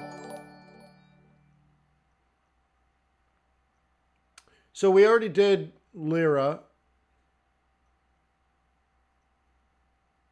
Aussie dollar we did already. Pound yen, I don't think we've done beast. Here comes the drums. Boom, boom, boom, boom, boom, boom. Beast, the Widowmaker. Great British Pound Yen. Uh, why don't I see it? Man, I'm having trouble seeing things these days. And I'm double clicking like crazy.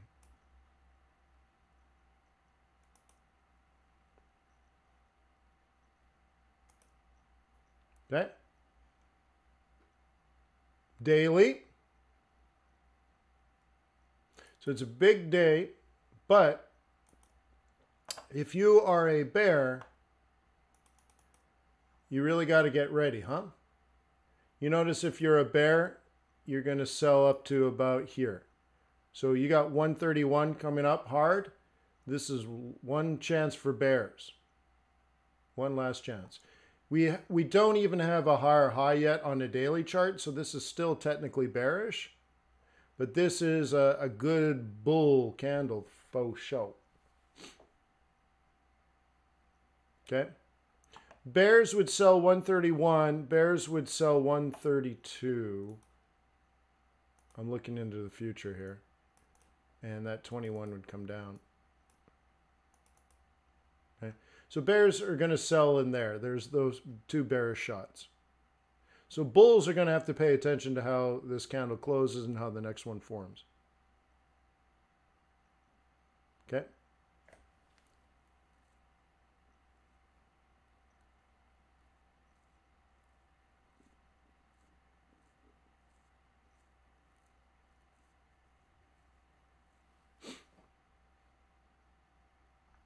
Okay.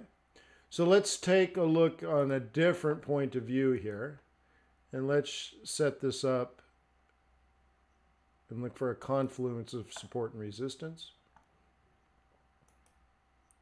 And the beast in of itself is way out of its territory.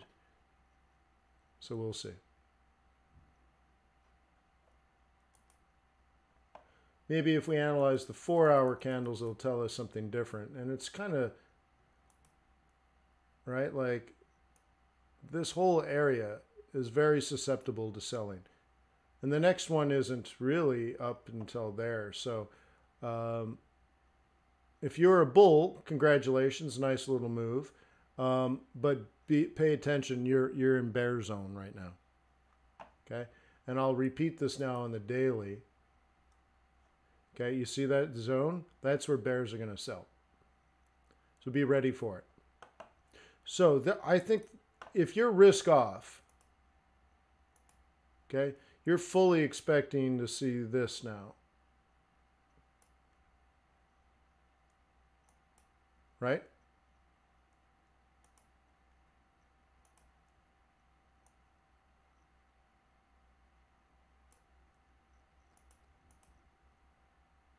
Do you agree? If you're a bear, this is the next thing.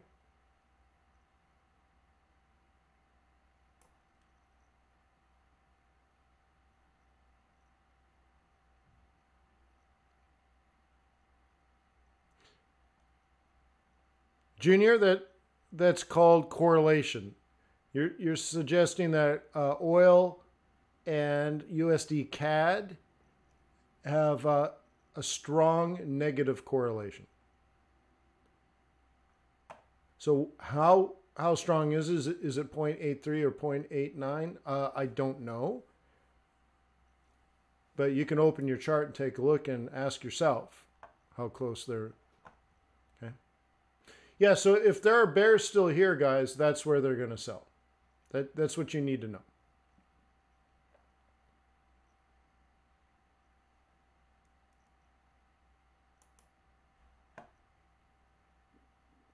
Okay.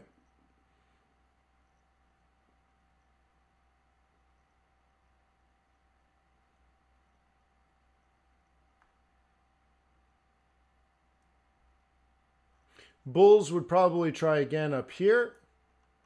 I mean, Bears will, right? If we get a green, so if tomorrow looks like this, I think Bears are going to try again on Wednesday. Okay? If Wednesday comes out green, I think Bears are, are, are going to take a break.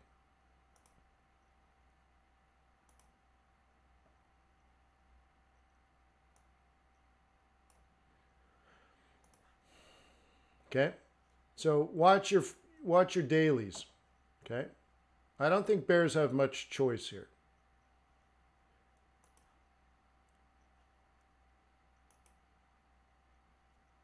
So, how about now if you were a bear scalping a one minute chart or a five minute chart down?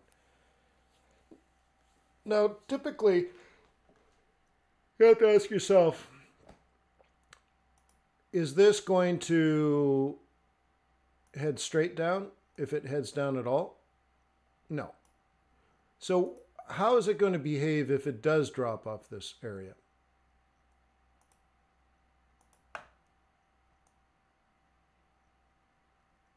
Right? Except to be red.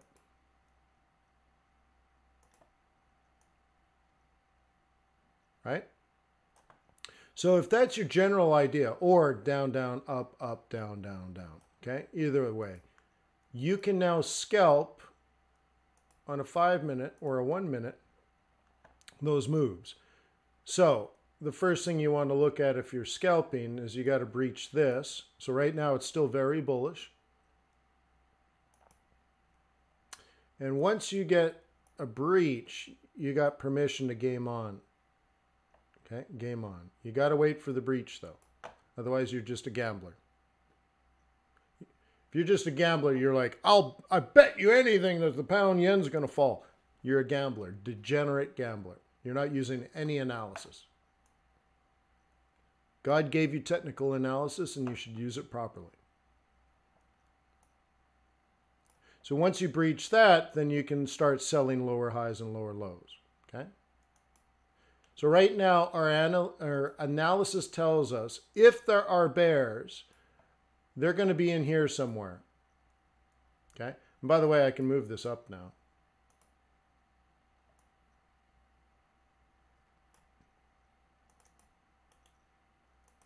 Okay. So our analysis on the higher time frame tells us if there are bears, they're going to live in this zone here. So now if you get lower low, you can get a lower high, lower low, lower high, lower low. You know, not forever, but you know, 75 pips down or something. So you might get three trades, pick up 100 pips, and you're done. While you wait. Okay. Ooh. By the way, you see what happened to me from mousing too much over the weekend? Ooh, yuck. Yucky. That's a big owie. That's a lot of mousing. Equity markets are way up. Well, that's why I came out right out of the gate today in today's webinar trying to explain why. Why? Why? Okay, that's what I focused on today.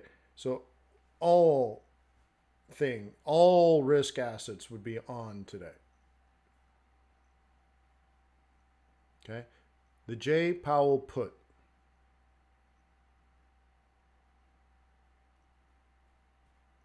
Are you asking me if I own it? No, I am not.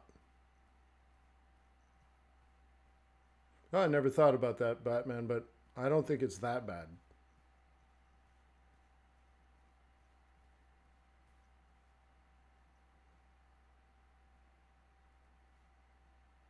No, I was swinging a sledgehammer over the weekend and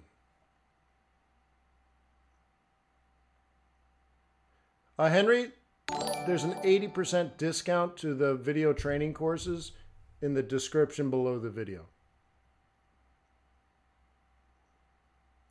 So after yeah, so after swinging the swing uh, the sledgehammer a bunch of times, then uh, I had to do hammering, and uh, I had big five inch uh, galvanized uh, um, uh, nails. And when you hammer with a sword like that, you got to be a tough guy. Let me just say it hurt.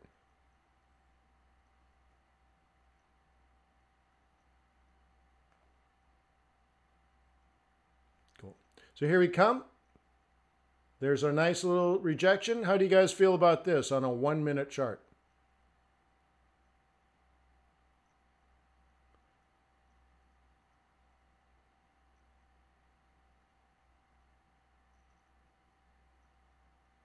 Well, Berlevin, let's just say I went to Home Depot and bought three pairs of work gloves. I'm not even joking. Here we are in the one minute. Let's see if we can breach that. So what it'll do is it'll come down, hit the next level, and then go back up. Okay, we're so the vert the the first breach the first breach and then the second breach are important. Okay, so let me highlight this this way. Uh, what we are thinking here is this.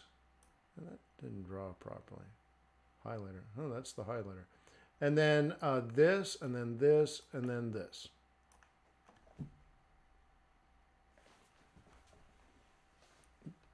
Okay. And remember, uh, I had this set up like this. Oh, I had this set up like, uh, is this going to draw an arrow on me? It's going to draw an arrow. I don't want an arrow. Why can't I do this right? Uh, like this. This is how I had it set up first. Oh, I see why the other ones didn't.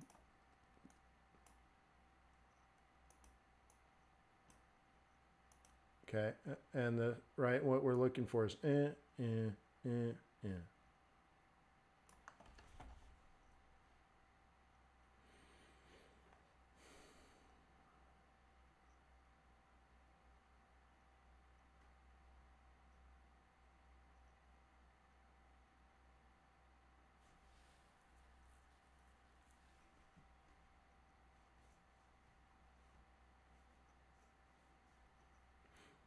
So thank you again to all the new subscribers today.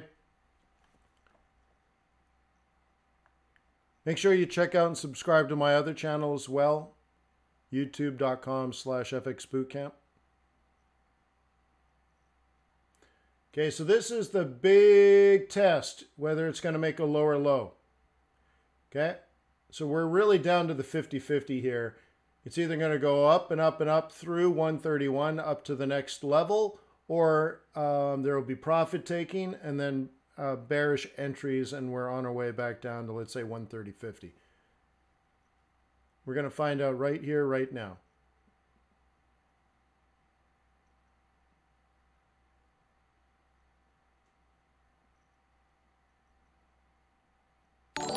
That's funny, Anthony.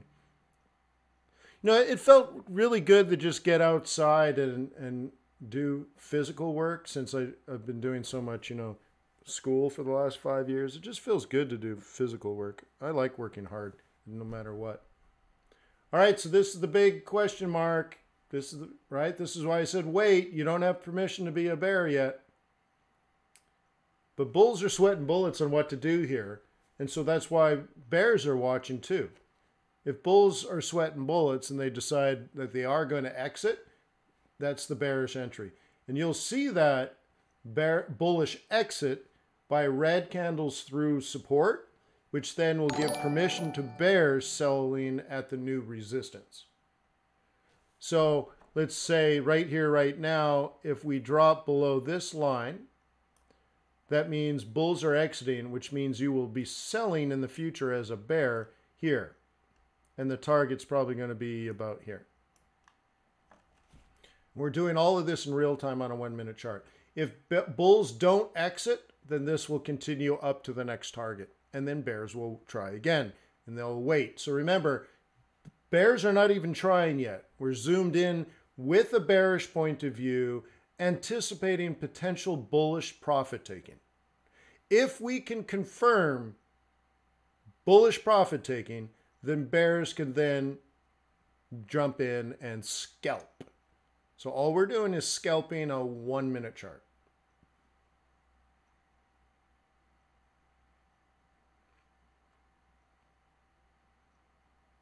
Okay, so we're waiting for red candles here.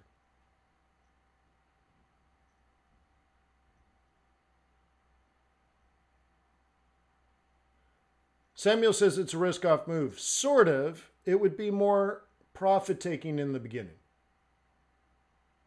What I showed you, remember this, this pinkish zone above us?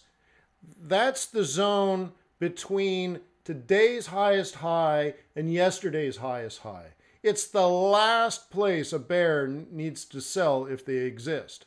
But for a bear to sell, we need to remove the bulls. You don't want to sell an uptrend. You'd be a fool, a broke fool. So now you need bulls to exit and then bears to enter. And now you got yourself a profitable move as a bear.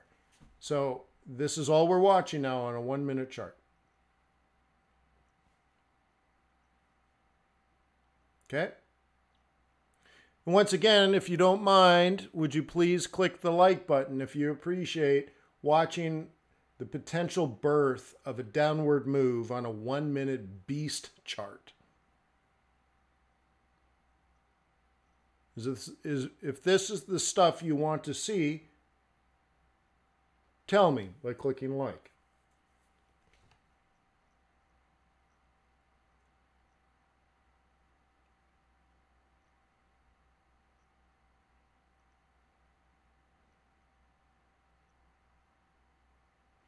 Uh, yeah, the target is down there. 130.50 is the first one.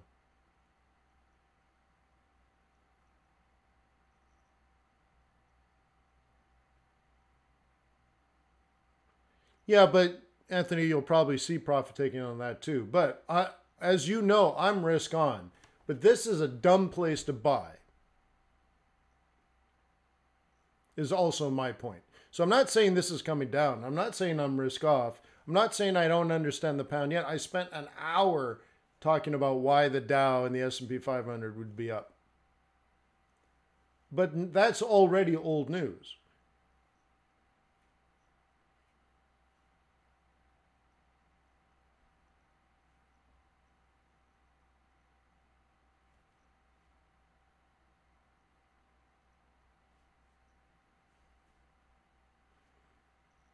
Okay.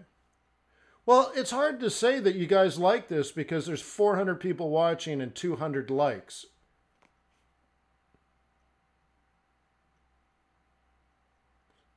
Oh, oh, those, those, the red and blue things, those are moving averages. Okay. Ingrid, you might consider taking the video training courses. They're 80% off right now. And they'll give you a clear. In fact, let me give you free training.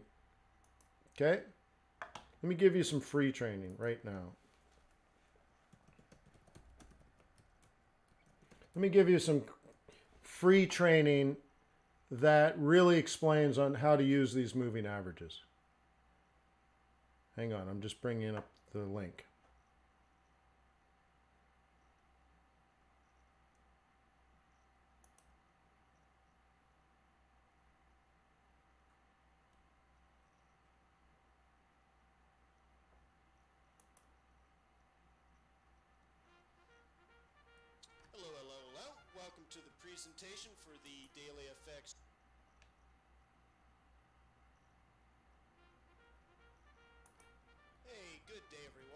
Here you go. Make yourself comfortable. This is a presentation for the Daily FX audience entitled How to Improve the Timing of Your Trade. There you go. So watch those. That'll give you a good explanation right off the bat on how to use those moving averages. It goes over moving averages, oscillators, Fibonacci retracements, and Fibonacci extensions. Uh, Medi, yeah, it should be there. Maybe uh, refresh your page. Okay.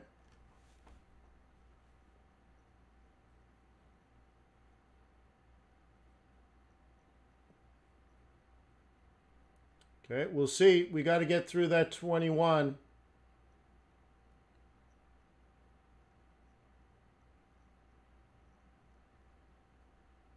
Got to get through the 21.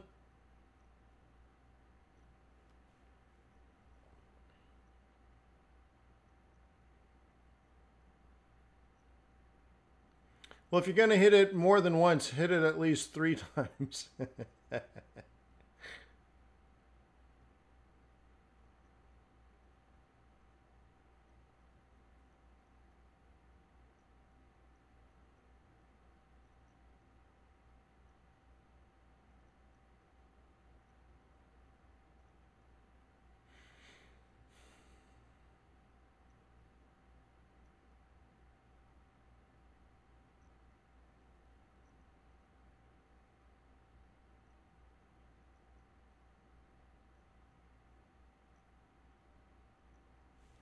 Okay, let me uh, put these lines back just so you remember.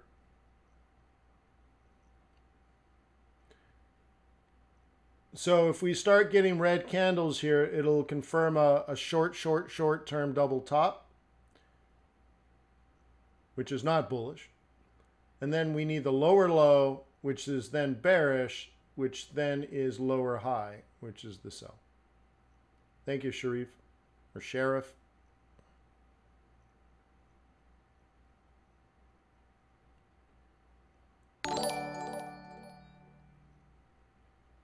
Thank you, Bailey. Okay, if there's no profit taking here, then it'll probably occur in two hours at the end of the New York or at the end of the London trading session. And it just might be a timing issue. Okay.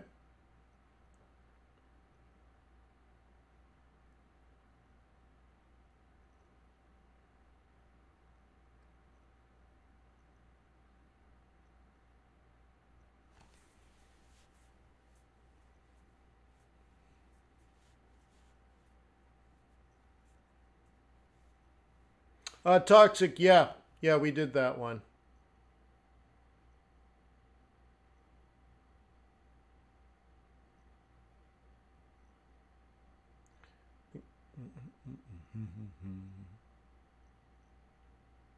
La la la la la. Yeah, let me uh let me pull up. Let's see let's see what the other markets are doing here. Hang on.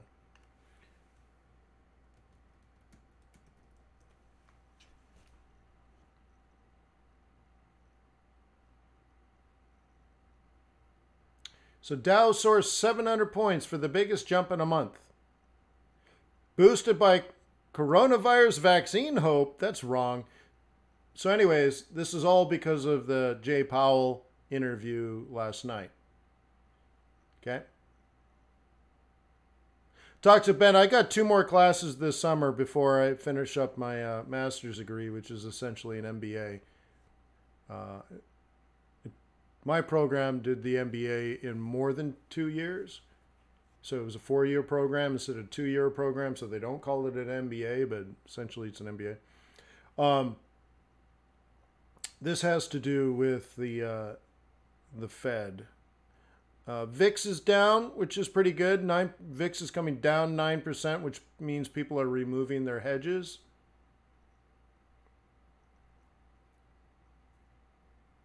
Check this out. Uh, the Russell 2000 is up 5% today. Whoa, what?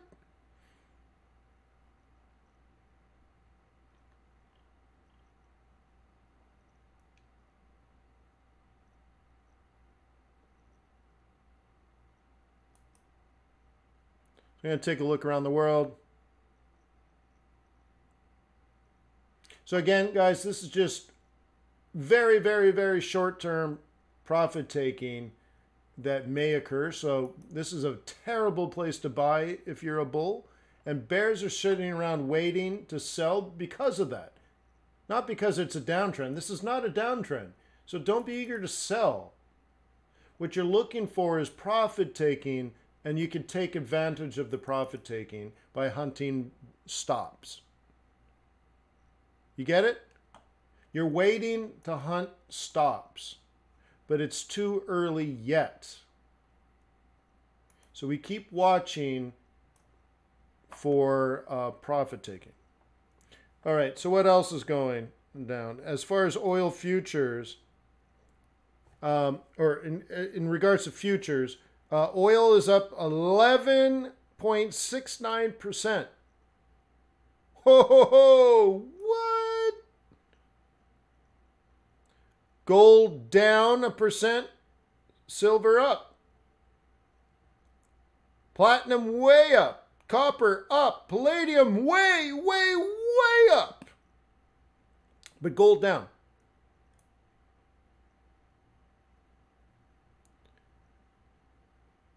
Wheat down. It's at 495.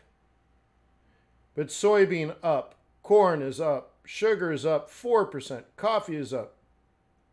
Oh, by the way, I'm going to donate 30 bags of Starbucks coffee to the local police department. Uh, isn't that cool? So, uh, I already have the coffee. I just got to find time to get over there. Figure, figure cops like coffee, don't they? Cops and coffee.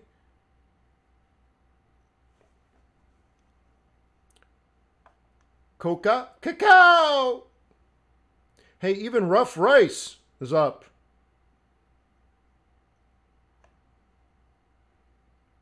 Let's see. Live cattle up. Lean hogs up.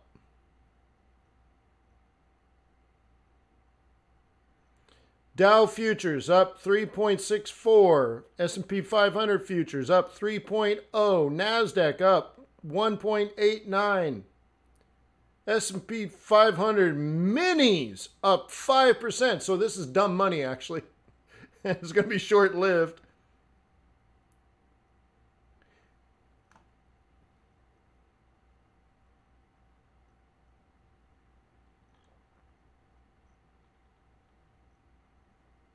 Okay.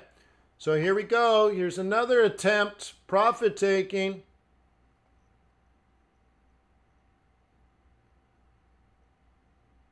Yeah, I don't like the coffee, but it's a brand that says, look, I'm not just buying you cheap coffee. Um, I'm, I'm trying to give you a brand name. And anyway, so uh, I have this huge box of coffee now. so uh, I'm going to give it to the local uh, police department. Toxic Ben says you're really anticipating bears. Not yet. Not until the breach and the pullback.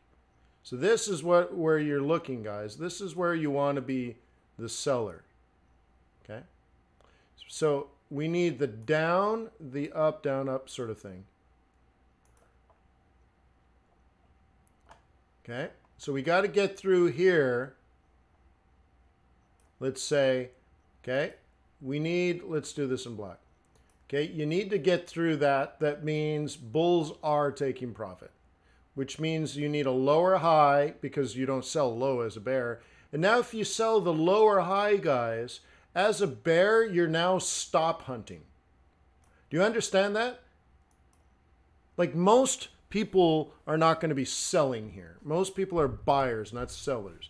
But if you are selling, you're anticipating future bulls taking profit, meaning getting out, because they bought way below. So as it comes down, they're going to get out.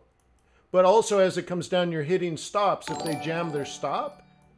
So you're hunting their stops. Do you get that? These moves down is from stops being triggered either manually or by hitting, right? So they're either clicking a button to say take profit or you're hitting their stops. And that's what you're trading. So it's not really people selling that you're trading, it's people getting out that you're trading.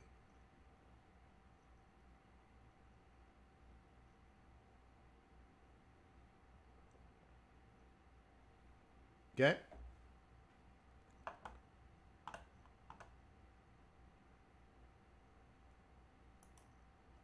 So what you need is this.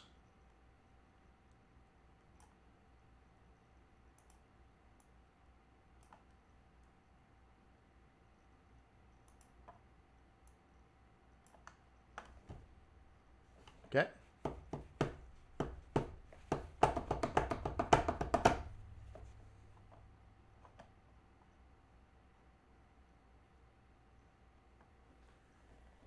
Okay. So typically you see a change in direction around 1010 if there's no news at 10. If there is 10 a news at 10 and it's not important news, then the change of direction comes at 1013. No, or sorry, uh, no, I got that backwards. If there's no news at 10, the market turns at 9:55. If there is um, mod, if there's moderate to important news, the change of trend happens at 10:13 to 10:27. Okay. So, anyways.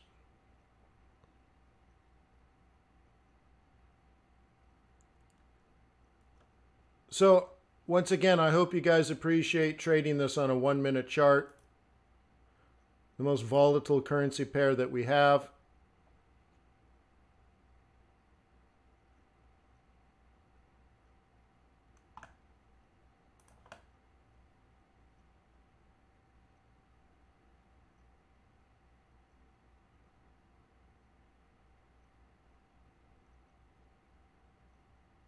That's not what we're trading.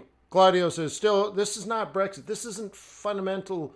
This isn't a bias. This is chasing stop losses. This is hunting stop losses.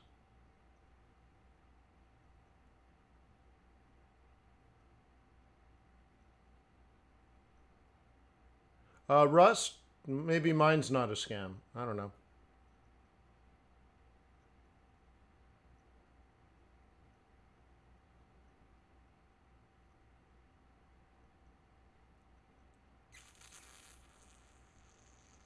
Yeah, right, Toxic? Ben's right. It's just a scalp.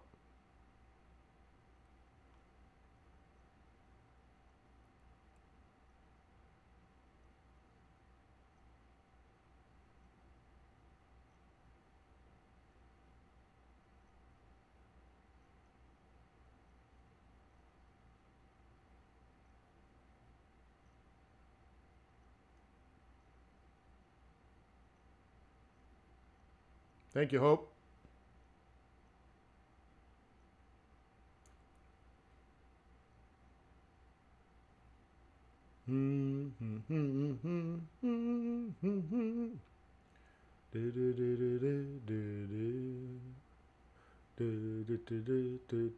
Remember, it's still bullish on the medium to long run. This is only short term profit taking.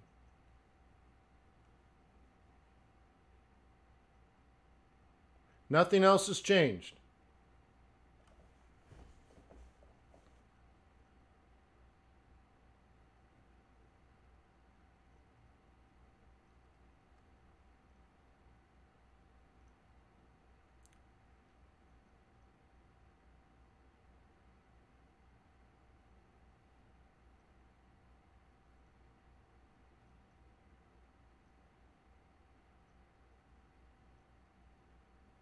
Okay? Scalping's just a cheap trick.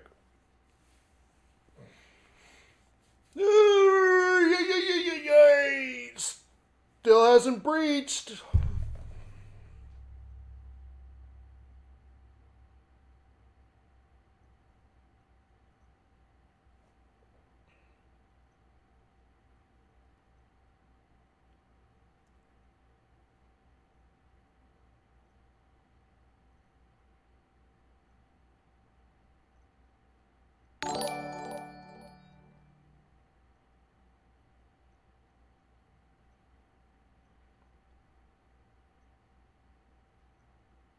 Okay, this is the real pullback. So see how we hit this pink zone?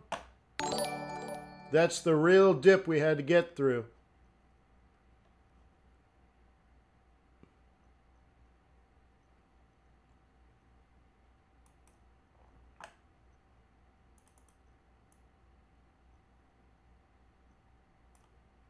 Okay.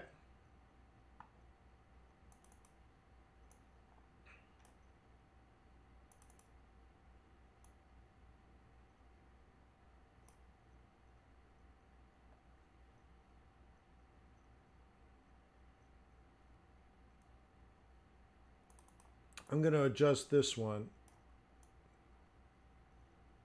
as the lower high.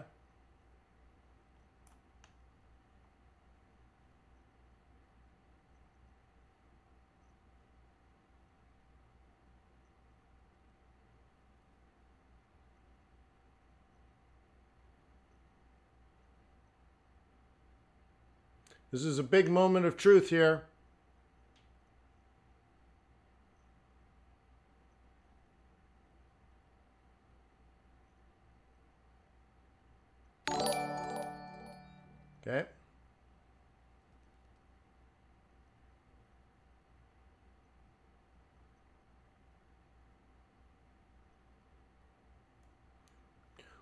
Well, it has to do with the one minute versus the five minute charts, guys. Okay, this is the moment of truth now. This might be your lower high. Okay, this might be your lower high, down, up. So if this rolls over, that's going to be that's going to be your number. Okay. So wait for it, wait for it, wait for it. Wait for it. Okay. We really have to get through this. I mean, if you just go to a five minute chart, I mean, that's clearly what we need to play. Okay. So really the big move on the five minute chart is now this. Okay. And remember, this whole thing is a daily chart. That, that's it. See where we are? So you're getting caught up minute by minute by minute by minute by minute. Uh, this is right. That's all the move.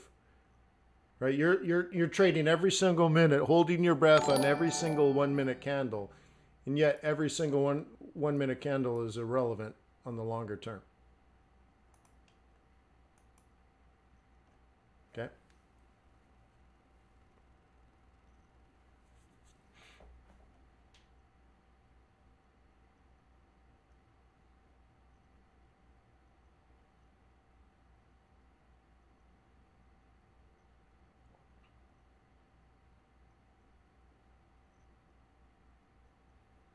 Well, I might do stuff like that if I can get 10,000 subscribers on FX Bootcamp, and right now there's 9,500.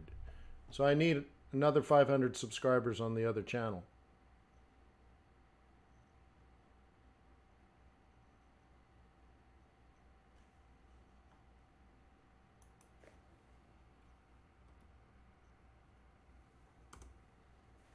So Check out the free training course there. Maybe subscribe, huh?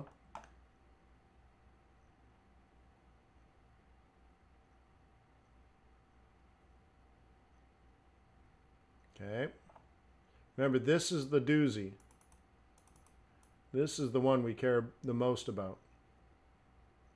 This is the primary uh, support, which we have to breach support. Remember that. We have to breach support.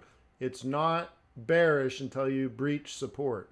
So right now we're only playing off a, sort of a, a moderate little resistance. Um, I'm much more interested in bre breaching support than playing resistance. Okay.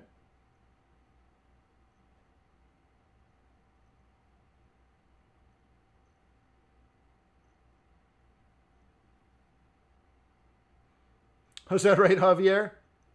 Yeah, so what I want to do is uh, we should plan them out on Zoom so everyone with a cigar and we can talk about the news together. I want to talk more than preach.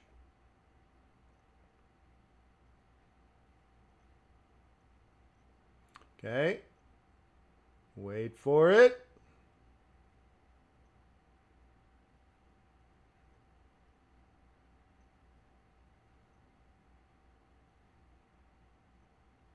Uh, well, no, because I mean, essentially, it ends up being the same sure trade.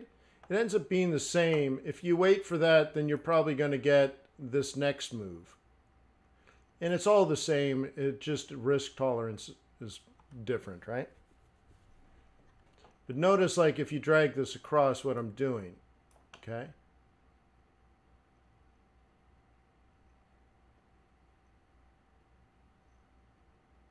So we haven't become bearish yet. You have to understand that. You haven't become bearish yet. You haven't become bearish yet. Okay? We've we haven't had enough bullish profit taking for bears to st hunt stops.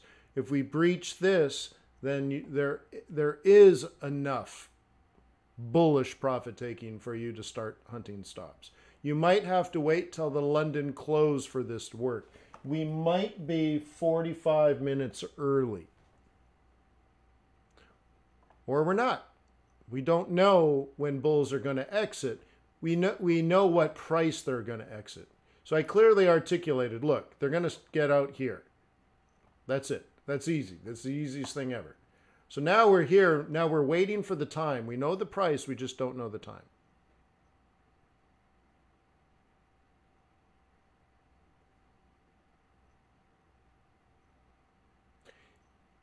That right, Hope? Yeah, I thought we'd do like either coffee and cigars or whiskey and cigars or wine and cigars. Okay, this is a test. So now this is definitely bulls taking profit. It may be the first bears hunting stops.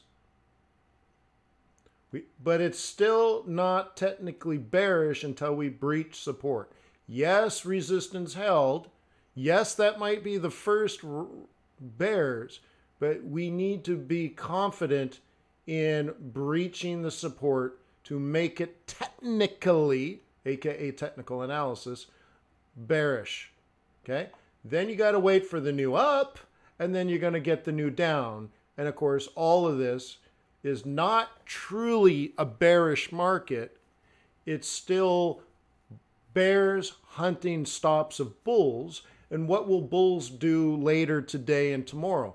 Bulls are going to buy a dip. They need bears to bring this down. Okay, so let's do this. What would a bull do here? Well, the standard operating procedure for a bull is they're going to fib this sucker, and their new buy zone is going to be down here between these numbers. Okay, so then you look at this 30 50, which is my target, by the way, down to 130. So now we know a 50 pip buy zone for bulls later today, aka tomorrow. So for bulls to get that, they need to exit their trades. Let's do this in black. Bulls need to exit their trades, have bears squeeze all the ones that are that are too lazy to make the proper decisions.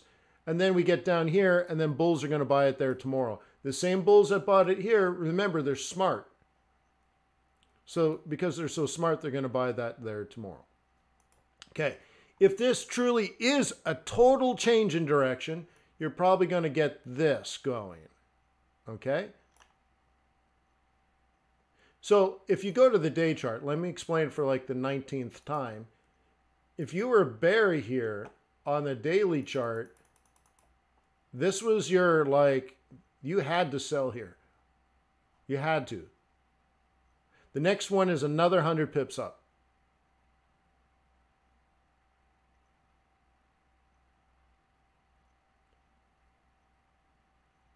Yes, Nalu, I can do it on every time frame. Whether you can, I'm not sure. Remember, this is nothing. This is nothing. Scalping is just a cheap trick. There's no real value in it. Okay? So let me explain that. If you're a bear and you sell here, you're going to sell uh, stay short for as long as you possibly can. You're probably not interested in the 50 pip drop. You're interested in the 300 pip drop, 400 pip. Okay? So uh, Maida's a bear, and she made 700 pips on her bearish trade. Who cares about a stupid 50 pips? It's a joke. 25 pips? Embarrassing. Right? So a proper trade is taking this down properly. Okay? And that would be a bear truly taking this down is going to go for a bearish target. And um, the weekly target is buck 28. So, you know, a bear is going to be embarrassed if they don't pick up 300 pips this week. Okay. That's why I'm like, this move here is just, it fills a webinar and it's all kind of stuff. But like, who cares if it drops 30 pips? just, it's 10% of the potential move. So all this is, is some stop hunting at the end of a market. It's barely interesting.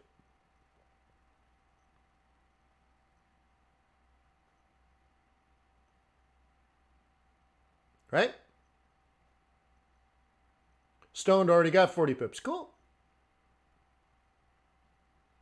Wait, what do you mean 40 pips? It only went to 131, dude. And we're at 130.90. What are you talking about? It's not mathematically possible for you to have 40 pips.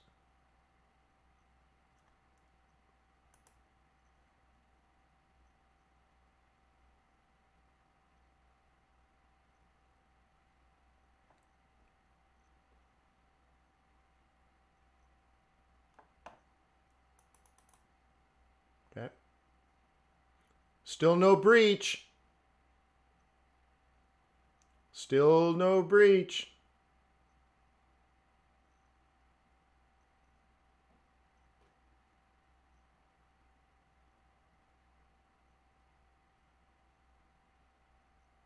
Yeah, it must be a different chart. There's there isn't we're not even close to 40 pips.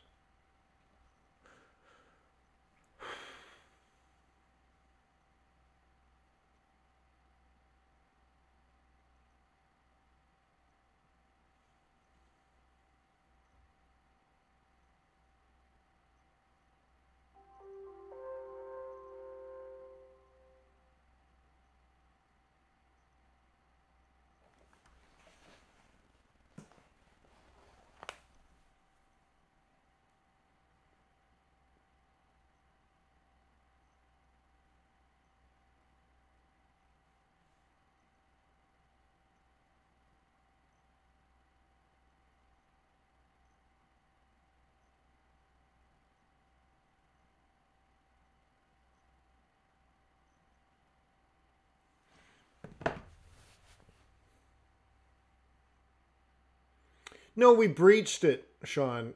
We already blew through it, so it's dead to me.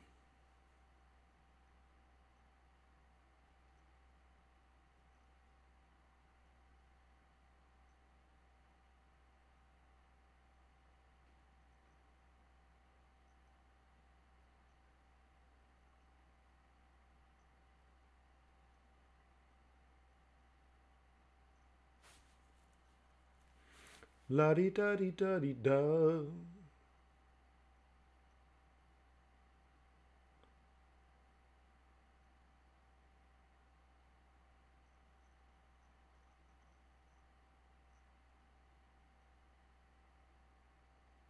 Okay, that's a good sign. Let's see if the candle holds, which is funny because it's a one minute candle.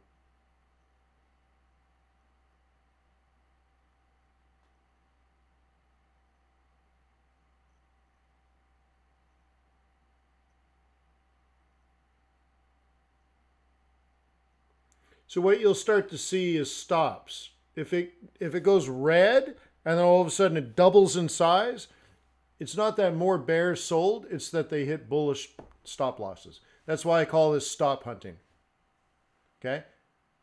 You see it moving? That's not people selling, that's stop hunting, uh, hitting stops. So I call that cascading. What do you think? Are you guys liking this? I don't think so because hardly anyone's liked.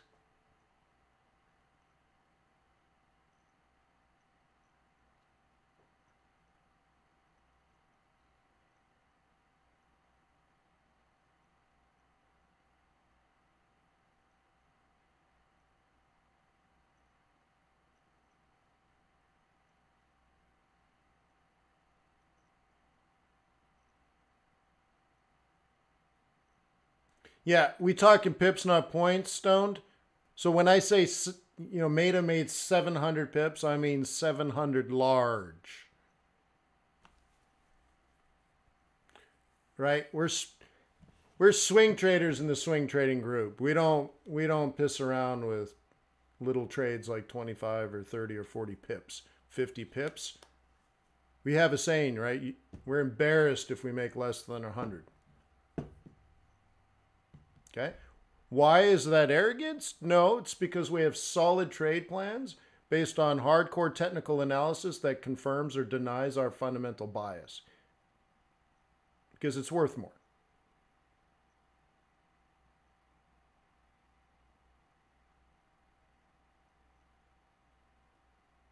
Okay. Yeah, yeah, yeah. No, no, you're good, man.